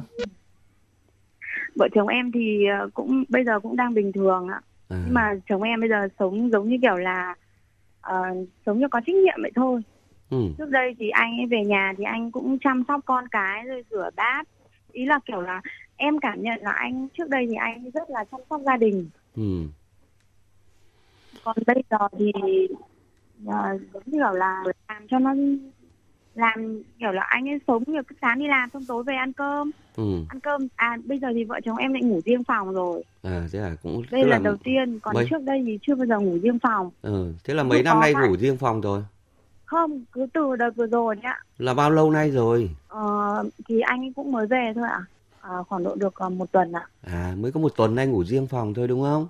vâng Thế còn anh ấy đi công tác xa đúng không? Và anh bạn phát hiện ra anh ấy ờ, ở ngoại tình thì đâm ra là dành toàn tâm toàn lực và toàn bộ thời gian về cái vụ truy xét điều tra dò xét ờ, vâng xét hỏi anh ấy đúng không? Hai vợ chồng năm nay Vâng. bao nhiêu tuổi rồi? chồng em thì là người nước ngoài anh ấy năm nay là 30 ờ, sinh năm 86 là 37 tuổi ạ Rồi, thế bạn bao nhiêu tuổi? em là 33 Thế à, con lớn chưa? con em thì năm nay mới là lớp 1 À thế à, 6 tuổi rồi. Vâng. Rồi. Anh Đinh Đoàn sẽ tâm sự với bạn nhé. Ờ rồi, xin chào. Chào em. dạ vâng ạ Chồng ờ, người Hàn hay người Mỹ hay người châu Âu? chồng em là người Hàn Quốc ạ Hàn Quốc. Anh ấy định cư làm việc ở đây hả? vâng vợ chồng em sống với nhau ở đây được hơn 10 năm rồi ạ Hơn 10 năm ở đây. Mình có làm ăn gì hay là ăn bằng lương của chồng? Ờ, nghĩa là em thì bây giờ vẫn đang đi làm văn phòng ấy ạ Ừ. Rồi. lương tháng em chỉ tầm 7-8 triệu thôi Cũng đủ sống chứ chẳng phải là chồng đưa đúng không? Vâng Ừ. Nhà cửa thế nào? Anh ấy mua hay anh thuê? nhà cửa thì đấy 10 năm rồi thì vẫn cứ đi thuê nhà thôi em Ừ. cũng đang nói là à, bây giờ kiểu là tiết kiệm lại để mà mua nhà ấy, thì anh bảo anh không làm được nhiều tiền Ừ. nhưng mà thực ra thì là theo như bạn bè em với lại ờ, em con nhà dì em thì cũng làm phiên dịch viên đấy cũng Ừ. tiếp xúc nhiều người Hàn đấy Ừ. thì cũng biết là công việc của anh ấy cũng phải tầm lương tháng ấy, 80 đến 100 triệu một tháng ạ. Ừ. Nhưng mà anh ấy đưa cho mình mỗi tháng được bao nhiêu? Trước đây thì chỉ đưa cho em uh, 15 triệu và Ừ. tiền nhà thì anh tự trả. Ừ. Còn bây giờ thì anh ấy đưa cho em được 30 triệu. Ừ. Rồi. Còn lại tất cả em lo hết. Ừ. Ừ. Ừ. Đấy. Có dự định là định cư lâu dài hay là rồi cuối cùng một lúc nào đấy sẽ về Hàn? Anh ấy thì bảo là anh ấy ở đây Ừ. nói chung là vợ chồng em thì từ lúc mà sinh con ra là đã không hòa thuận rồi ạ. Ừ. Hòa thuận rồi. Sống rất là mệt mỏi. Rồi. Vâng. Ờ, anh ấy gặp mình trong khi mình cũng đang đi làm công ty đúng không? Chứ không phải là một cô gái chả có công ăn việc làm gì ở nhà được gả bán đúng không? Vâng, trước ừ. đây thì là ngày bọn em quen nhau từ năm 2011 đấy ạ. À ừ. Thì là anh ấy anh ấy sang Việt Nam. Ừ. Anh ấy bắt đầu mới sang Việt Nam học việc. Ừ.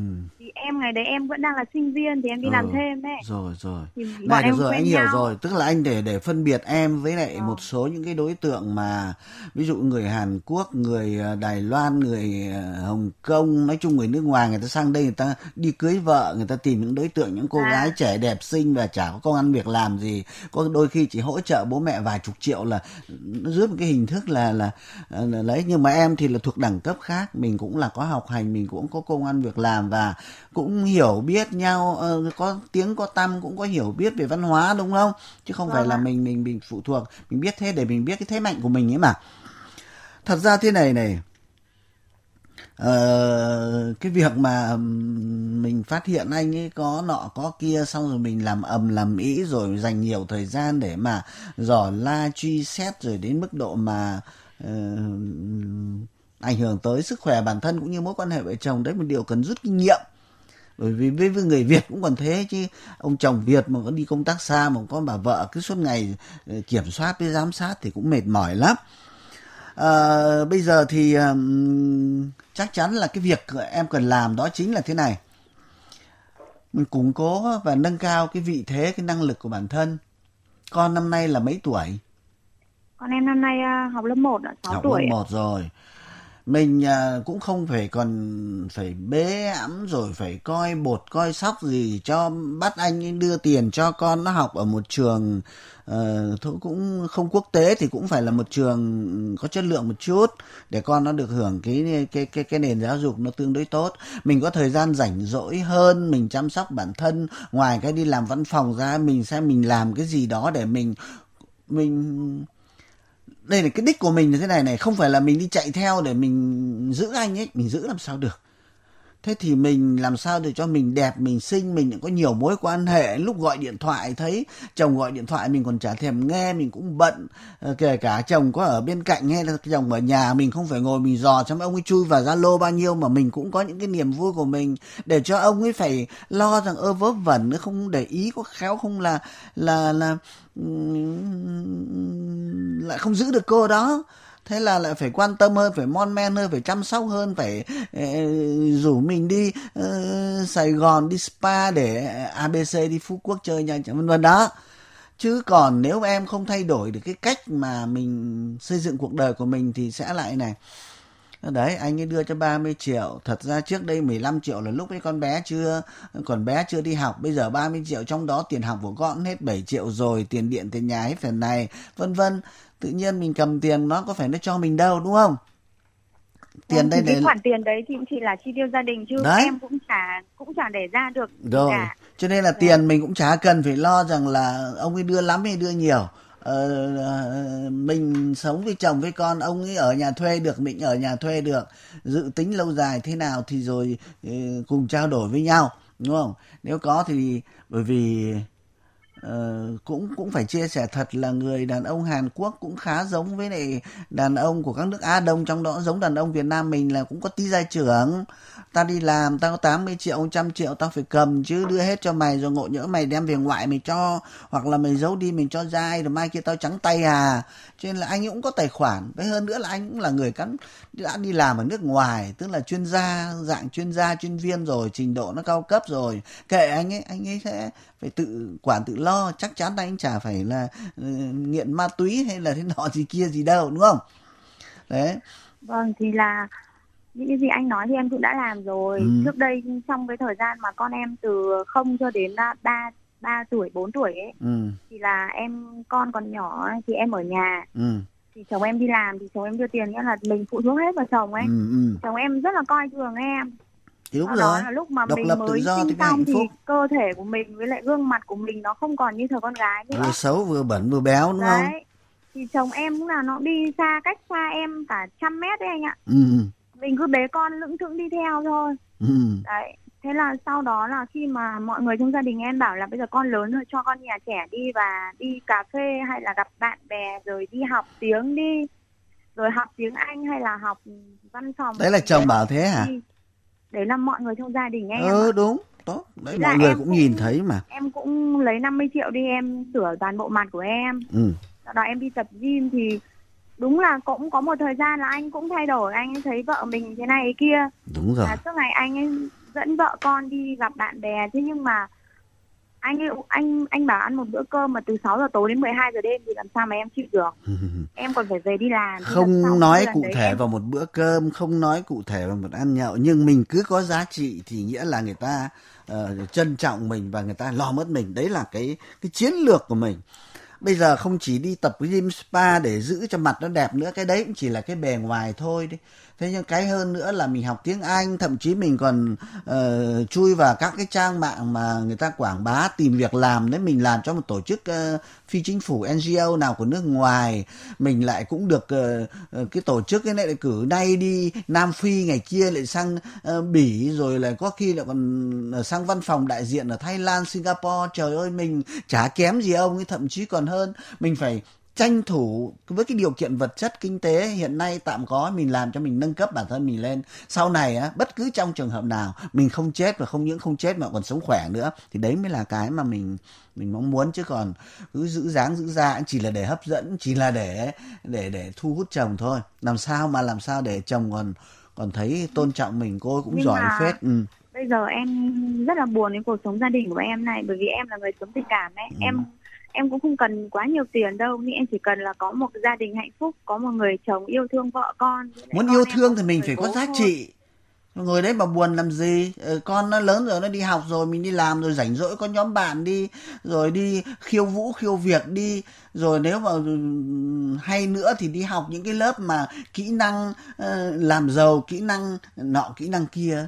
Thật ra thì thì thì thì không thiếu gì việc để làm. Người ta bây giờ người ta còn lo là mỗi tháng sao có được vài triệu để lo kinh tế. Còn rất là may mình cũng có tiền và chồng cũng có tiền. Trong điều kiện của mình kinh tế là không phải quá lo thì đã là một phần giảm nhẹ áp lực rồi. Bây giờ chỉ còn có tìm niềm vui và tìm cách để diện nâng cấp bản thân về về cả kiến thức cũng như là cái mở mang uh, hoạt động uh, với các mối quan hệ xã hội. Đó đấy là cách mà tốt chứ còn ngồi đấy mong ước tình cảm thì mình thì muốn rằng là uh, xa tối đến là nó phải nói chuyện với mình hai tiếng về nhà nó lao vào nó ôm nó hôn trần trẹt nó không có đâu nhá.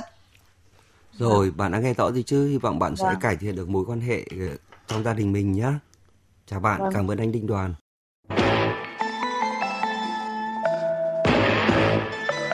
Các bạn đang theo dõi chương trình phát thanh trực tiếp Cửa sổ tình yêu. Khi gửi câu hỏi cho chúng tôi qua số điện thoại 0243 826 2625 vào tất cả các ngày trong tuần, các bạn sẽ được đội ngũ chuyên gia của chúng tôi gọi lại và tư vấn miễn phí. Xin nhắc lại số điện thoại duy nhất của chương trình 0243 826 2625. Chúng tôi đang chờ bạn. Chúng ta sẽ cùng tiếp tục chương trình bằng cuộc điện thoại khác, cuộc điện thoại gọi đến từ Điện Biên. Alo, xin chào một thính giả gọi đến từ Điện Biên. Vâng, em ờ, chào chương trình ạ. Dạ vâng, chào bạn. Câu hỏi của bạn là gì vậy? Vâng, em uh, muốn tư vấn về sức khỏe chương trình tư vấn giúp em là em uh, bị uh, thoái hóa với thoát vị đĩa đệm thì em hỏi là quan hệ tình dục thì sau này là có ảnh hưởng gì không ạ? Bạn năm nay bao nhiêu tuổi rồi? Em năm nay 43 tuổi. Thế à, thoái hóa lâu chưa? Em mới ạ mới bị ạ. Thế à thế từ lúc phát hiện mới bị thì thấy cái chỗ ừ, quan hệ ý thì nó có khác gì không? À, nó thỉnh thoảng là vẫn hơi đau lưng à bây giờ một tuần thì quan hệ được mấy lần với vợ? Có lần thì à, có tuần thì được uh, lần có lần uh, tuần được hai lần thế à thế nhưng mà à. vẫn ổn đúng không? Sau là không cảm thấy là là mệt mỏi gì cả đúng không? Vâng vẫn uh, thỉnh thoảng vẫn hơi đau lưng anh đau lưng thì từ trước này chắc vẫn đau chứ đâu có phải hồi không không mới mới bị thôi anh. À rồi bác sĩ sẽ lý giải cho bạn xem xem là cái việc thoát vị đĩa đệm nó có ảnh hưởng đến việc chất lượng quan hệ tình dục không nhá. Vâng. Xin mời chị Hoàng Thúy Hải ạ. Vâng tôi chào bạn. Vâng em chào chị ạ. Ừ, bây giờ đang đang lo lắm thấy cái phần ở lưng ở xương cốt nó có vấn đề đúng không? Vâng. và khi mình ờ, quan hệ thì mình lại sử dụng cái phần lưng nó cũng rất là nhiều vì thế mình không biết là mình à, quan hệ tình dục thì nó có làm bệnh nó nặng lên không đúng không nhỡ vâng. nó lại thoát vị hết ra nữa thì thì chết dở nhỉ vâng. em lo lắm vâng ừ. thế em làm nghề gì vậy em làm nghề tự do làm nghề tự do đa số là đi bán hàng rong em ngồi trên xe máy suốt ngày à thế hả ừ. Vâng. thế em uh, đi đã đi khám về cái thoát vị chưa em khám rồi em khám rồi họ bảo là bị uh, bị uh, phồng phồng đĩa đệm À thế à, thế hiện nay là chỉ điều trị nội khoa thôi đúng không? Dùng thuốc với lại dùng băng các thứ thôi, đai Đó. Dạ. thôi chứ còn chưa không phải làm gì đến ngoại khoa đúng không? Vâng, em đang đi thì em vẫn dùng cái đai ừ. đeo lưng ấy. Ừ. Đeo lưng với sáng ra thì em sáng với tối đúng không? Em là em tập treo đai đai treo đấy. Có ừ. có, có tốt không chị nhỉ? Ừ, có. Tập tập được uh, tất cả những cái ờ, động tác đấy là uh, nó cũng tác động vào đến cuộc sống ấy. Nó sẽ làm cho nó sẽ đỡ nhiều hơn. Nhưng mà chủ yếu là đừng có làm những cái động tác mà nó cúi gập nhiều hoặc là những cái mà nó nó nó tác động nhiều vào cuộc sống thì thì thì thì sợ là cái chỗ thoát vị đấy nó lại nặng hơn hoặc là nó lại thoát vị nhiều hơn nhá um, ừ. thế thế về mặt uh, nhưng mà cái công việc của em thì cũng hơi khó bởi vì em đi xe máy nhiều với đi xe máy rong ruổi trên đường nhiều thì khi mình ngồi nhiều ấy thì mình ngồi ở trên yên xe máy thì cái cột sống của mình nó cũng bị bị ép xuống rất là nhiều xuống vùng mông ấy nhỉ vâng. đấy thì tranh thủ lúc nào ấy mà không ờ, phải đi hoặc là đi có đoạn nào đấy mà nghỉ thì đứng lại rồi để cho nó uh, giãn ra rồi kéo người ra vân vân để cho máu nó vừa lưu thông tốt cũng như là cái nó đỡ bị tì đè tiếp xúc nhiều lên cái chỗ thoát vị thì bệnh nó sẽ đỡ hơn nhá Ừ. Bệnh của mình ý, thì cố gắng là đã đi khám rồi ý, thì phải thăm khám và phải hướng dẫn theo đúng cái uh, chỉ định của bác sĩ nhé. Ừ. Bác sĩ chỉ định cho mình dùng thuốc như thế nào, các cái bài tập ra làm sao, rồi là ăn uống như thế nào thì mình cố gắng làm theo như thế để cho nó ờ, mục đích cuối cùng của mình là chỉ điều trị triệu chứng thôi, ờ, điều trị nội khoa chứ còn đỡ phải đến cái giai đoạn là phải can thiệp ngoại khoa ấy. Bởi vì khi mà đã phải can thiệp ngoại khoa, tức là hay nói cách khác là phải mổ cột sống rồi phải tác động vào đấy thì nó nó cũng sẽ vất vả hơn và nó sẽ có nhiều cái nó nó không thuận lợi như là khi mình điều trị nội khoa nhé. Vâng vâng em cảm ơn bác sĩ. Ừ, cái thứ hai nữa là ờ, về chuyện ờ, quan hệ với vợ ấy thì nó hoàn toàn phụ thuộc vào mình mà nếu như mà mình quan hệ với vợ xong mà mình thấy nó vẫn bình thường mình thấy nó không đau gì hay là mình uh, không ảnh hưởng gì đến cái uh, cái cái cái công việc hàng ngày của mình ấy, thì mình vẫn có thể là quan hệ tình dục với vợ được. Tuy nhiên mình lưu ý hết sức là mình lựa chọn những cái tư thế mà nó thật là thoải mái nó ít tì đè vào cuộc sống của mình ấy. Uh, hay nói cách khác là bây giờ vợ em năm nay bao nhiêu tuổi Vợ em uh, 39 ạ. À thế à.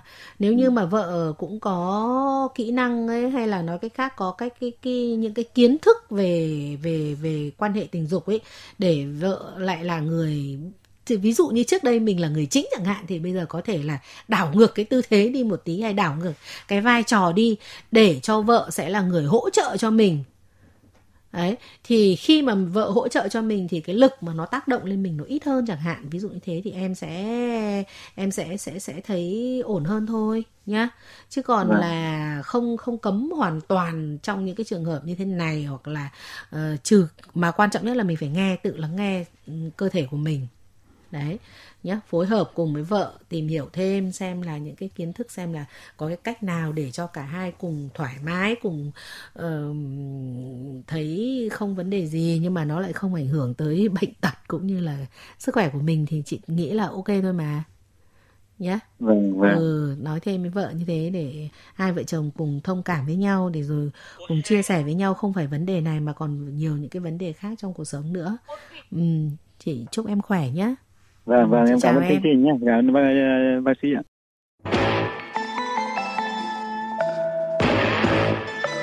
Các bạn đang theo dõi chương trình phát thanh trực tiếp Cửa sổ tình yêu. Khi gửi câu hỏi cho chúng tôi qua số điện thoại 0243 826 2625 vào tất cả các ngày trong tuần, các bạn sẽ được đội ngũ chuyên gia của chúng tôi gọi lại và tư vấn miễn phí. Xin nhắc lại số điện thoại duy nhất của chương trình 0243 826 2625. Chúng tôi đang chờ bạn. Bây giờ thì chúng ta sẽ cùng uh, kết thúc chương trình cửa sổ tình yêu của ngày hôm nay bằng cuộc điện thoại gọi đến từ tỉnh Ninh Bình. Alo, Ninh Bình đâu ạ? Đây ạ. Dạ vâng. Vâng. Câu hỏi của bạn là gì vậy? Ờ, hai ba gần hai ba năm gần đây ấy, em cứ bị ám ảnh ấy. Ừ. cái chết ấy. Ừ. Kiểu cứ lo sợ mai kia mình không còn nữa không được sống tiếp ấy. Rồi, làm sao mà phải lo sợ thế? Kiểu cứ nghĩ đến cái kiểu bây giờ cuộc sống nó quá tốt đẹp ừ. cứ nghĩ đến những cái kiểu ngắn ngủi quá nó không kéo dài mãi được ấy. Năm nay bao nhiêu tuổi rồi? Dạ, hai bảy ạ. Hai bảy tuổi vợ con gì chưa? Chưa. Thế mà đã lo chết rồi. Lo sớm thế. Thì căn bản là nghĩ nó ngắn quá ấy. có bệnh tật gì không? Không ạ. Thế à? Cứ hoang tưởng thế thôi à dạ vâng cứ ừ. cảm thấy lo sợ thế. Thế à cả ngày lẫn đêm lúc nào chỉ nghĩ đến cái chết? Kiểu mình không được sống nữa ấy. ừ. Thấy sợ. Thế à? Sợ hãi hoang mang ấy. Ừ. nhiều khi thế có người yêu chị... chưa? Chưa. Lại chưa có người yêu nữa. Lâm giờ càng thấy càng thấy tiếc nếu mà nhỡ có vấn đề gì xảy ra đúng không? Đúng rồi. Rồi này bạn nói thế là tôi cũng đang lo này. Tự nhiên gai hết cả người ấy. Ừ, cả bạn bè thì không hiểu sao sống bình thường cũng san hóa mọi người nhưng mà bạn thân với lại không có. Ít bạn thân à? Ít không có bè. ai á. Không có ai luôn á? Bạn bè cũng ít đó. bạn bè ít không có ai sống khép mình đúng không? Thế mối vâng. quan hệ với gia đình thì làm sao? Hàng xóm láng giềng như thế nào? Hàng xóm xung quanh cũng không tốt lắm ạ ừ thế t- t- nhìn xung quanh toàn chả thấy ai tốt gì cả đúng không? Bạn thì cũng toàn bạn xấu nên giờ cũng chả thèm chơi nữa ông bà nội thì lại cũng không thương cháu nữa. Ôi rồi thế à? Thế bố mẹ thương con không? Có được à. cái mẹ rất là thương con nhưng mà bố thì mất sớm. À thế à? Ừ.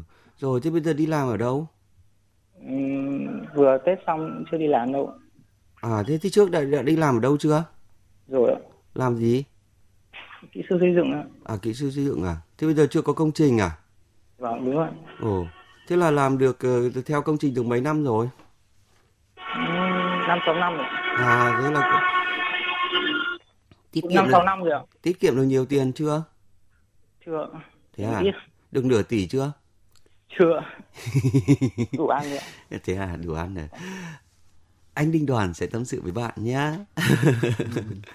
Rồi chào uh, chào con trai, chắc là phải gọi bằng bác Đoàn vì đúng đấy nhờ. Ừ. Vâng đúng. Ờ hiện nay đang sống với mẹ hả con? Dạ vâng ạ, con đang sống mẹ. Với lại ông bà nội nữa? Ông bà nội không. À. Bà nội từ mặt cháu rồi. À bởi vì vì vì ba bố mất rồi đúng không? Bây giờ hai mẹ con vâng. ở với nhau. Mẹ con trẻ khỏe không? Mẹ năm nay mới có dạ cũng trẻ, kém hai chục tuổi. Ừ. Ai kém hai chục tuổi? Hai mẹ con kém nhau 20 tuổi. À tức là mình thì 27, mẹ cộng với 20 nữa thành là 47 đúng không? Vâng. Ừ. Này mẹ có có có quyết tâm ở vậy chăm sóc mình để sau này bế cháu nội không lấy hay là mẹ đang có bạn? Ừ, có bạn ạ. Ừ thôi cũng được cho mẹ dạ, vâng. đỡ vui chứ ở nhà ừ. mình cứ lúc nào có thằng con trai suốt ngày nghĩ đến cái chết thì mẹ thì đang vui sống. không không hiểu sao nhưng mà lúc ừ. nào cũng nghĩ đến cảm thấy sợ hãi về cái điều đấy. Rồi. À, có ngủ được không? Ừ, có. À, chưa đến nỗi mất ngủ nhưng mà ừ, kiểu có chán ăn tìm không? cái để không ạ. Không chán ăn ăn được đúng không? Ăn được ngủ vâng. được này. Người nó có mệt mỏi không? Không ạ. Ờ, rồi ngoài nghĩ đến cái chết còn nghĩ đến những cái gì nữa? Có ước là giá mình có bạn gái bây giờ dắt tay bạn gái đi uh, vào trong uh, phú quốc chơi hay là đi vào uh, khách sạn nhà nghỉ để tham quan ví dụ thế không? Có thế à? Ồ thôi thế còn có cái khát vọng tưởng còn chả nghĩ gì chỉ nghĩ cái chết thì. Không mình thật ra thế này này mình là một thanh niên sống khép kín. À, gia đình thì đã có con một rồi bố lại mất sớm mẹ Không, còn thì đứa em gái nữa. À thế à em gái thì, thì đang học lớp mấy rồi? Nó đang học đại học. Thế hả? Ừ rồi. Mẹ giỏi nhờ. Đấy bố mất sớm mà nuôi hai con học đại học. Thôi cũng được ok. Con cần điều chỉnh cuộc sống của mình. Điều chỉnh cuộc sống uh, có có có một vài việc như sau. Việc thứ nhất là tăng cường giao lưu hoạt động ngoài xã hội ấy nhàn có gư quá thì nó vi bất thiện rảnh rỗi quá nó sinh nông nổi mình à, đi công trình xong rồi những cái lúc ở trên giàn giáo với đứng chỉ đạo anh em công trình chắc chả nghĩ đến cái chết. Mà không, nghĩ gì cả. Ừ thế vậy là cái lúc bận thì sẽ không nghĩ rảnh, tự dưng là lạnh nghĩ đến đấy mình thấy chưa? Ngủ là không nghĩ rồi này.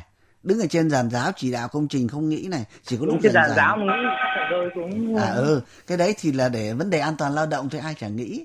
Thật ra con người người ta uh, việc đầu tiên đang nói là lấp đầy cuộc cuộc sống của mình cho nó có công có việc. Bí quá mà không có việc gì nữa thì gọi một đứa bạn không thân lắm thì cũng có thể rủ đi uống cà phê tốn với nó ly cà phê 25 nghìn cũng được tao mời mày rồi bữa sau nó lại mời mình trò chuyện hỏi han vân vân. Đấy là việc thứ nhất là là đổi, đổi cuộc gọi là làm cho cuộc sống của mình nó bận rộn hơn lên.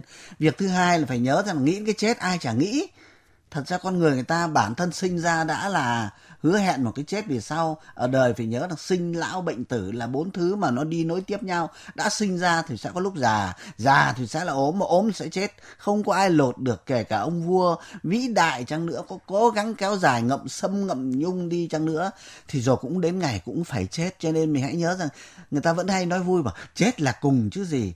Vì mình mình không phải né tránh nó mình đối mặt với nó ừ.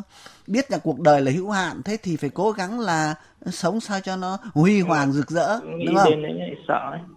sợ ai ai chả sợ bây giờ lại có người không sợ chết nữa thì thì quá là sợ một người biết sợ chết nghĩa là phải biết cách sống thôi, biết rồi, nó hữu hạn, mình chỉ sống được đến 90 là cùng. Vậy thì bây giờ năm nay mình 27 vậy vốn thời gian của mình chỉ còn có 50 năm năm mấy năm nữa.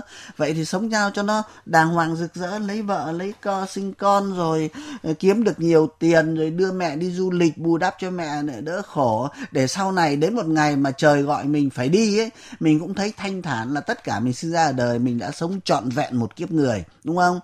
Và một điều thứ ba mà con cần làm nếu có thể có đời thời gian là chưa có công trình ấy mà tháng riêng tháng hai rồi tham gia một khóa tu ở trong ờ, tu không phải là đi tu nhá không phải là cạo đầu rồi để rồi mà ờ, xuất giá vâng, rồi mà đi một khóa tu để nghe các thầy giảng cho để chúng ta đối mặt với cái chết đối mặt với thực tế cuộc đời. Để chúng ta nhìn thấy cái chết nó tựa lông hồng đúng không? Lông hồng là lông cái con chim hồng ấy. Con chim hồng nó giống như con chim hạc đấy nó nó nó rất là nhẹ bởi vì sống được khó chứ còn chết thì ai chả phải chết. Và ta đón nhận nó một cách rất là bình thản. Nếu chẳng may một ngày nào đó mà ta không được nữa thì ta cũng không ân hận vì ta sống thật sự quá ngon lành rồi. Thế thì sợ chết thì cố gắng mà sống cho nó tốt đẹp tử tế đàng hoàng vui vẻ uh, huy hoàng rực rỡ nhá. Đấy, thì ba việc con cần làm. Thứ nhất, lấp đầy cuộc sống mình không cho rảnh rỗi để mà nghĩ linh tinh.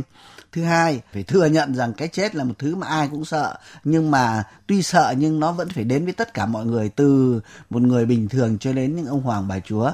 Và việc thứ ba là nếu có điều kiện thì tham gia các khóa tu để mình chuyển dịch cái cái cái tư duy của mình, để mình đối mặt với những cái khó khăn trong cuộc sống. Con bây giờ hơi giống một cái người mà rất sợ tai nạn giao thông cho nên là tốt nhất là không đi ra đường cứ ngồi trong nhà Yeah. Thế thì làm sao mà uh, ta còn sống là còn phải đi ra đường mà tha ra đường phải tham gia giao thông. Có điều là chúng ta phải có cái kỹ năng để mà làm sao để nó hạn chế tai nạn thì mới là điều quan trọng chứ không phải sợ tai nạn thì đang thế thì không đi nữa đúng không? Đúng không? Nhá, dạ, vâng. ba việc cần làm lưu ý như thế đi. Rồi, bạn đã nghe rõ rồi chứ? Rồi ạ. Cảm ơn chương trình ạ. Đừng bi quan nữa nhé. Cảm ơn anh Đinh Đoàn. Các bạn thân mến, chương trình phát thanh trực tiếp Cửa sổ tình yêu của chúng tôi ngày hôm nay đến đây là hết. Hẹn gặp lại các bạn trong các chương trình sau.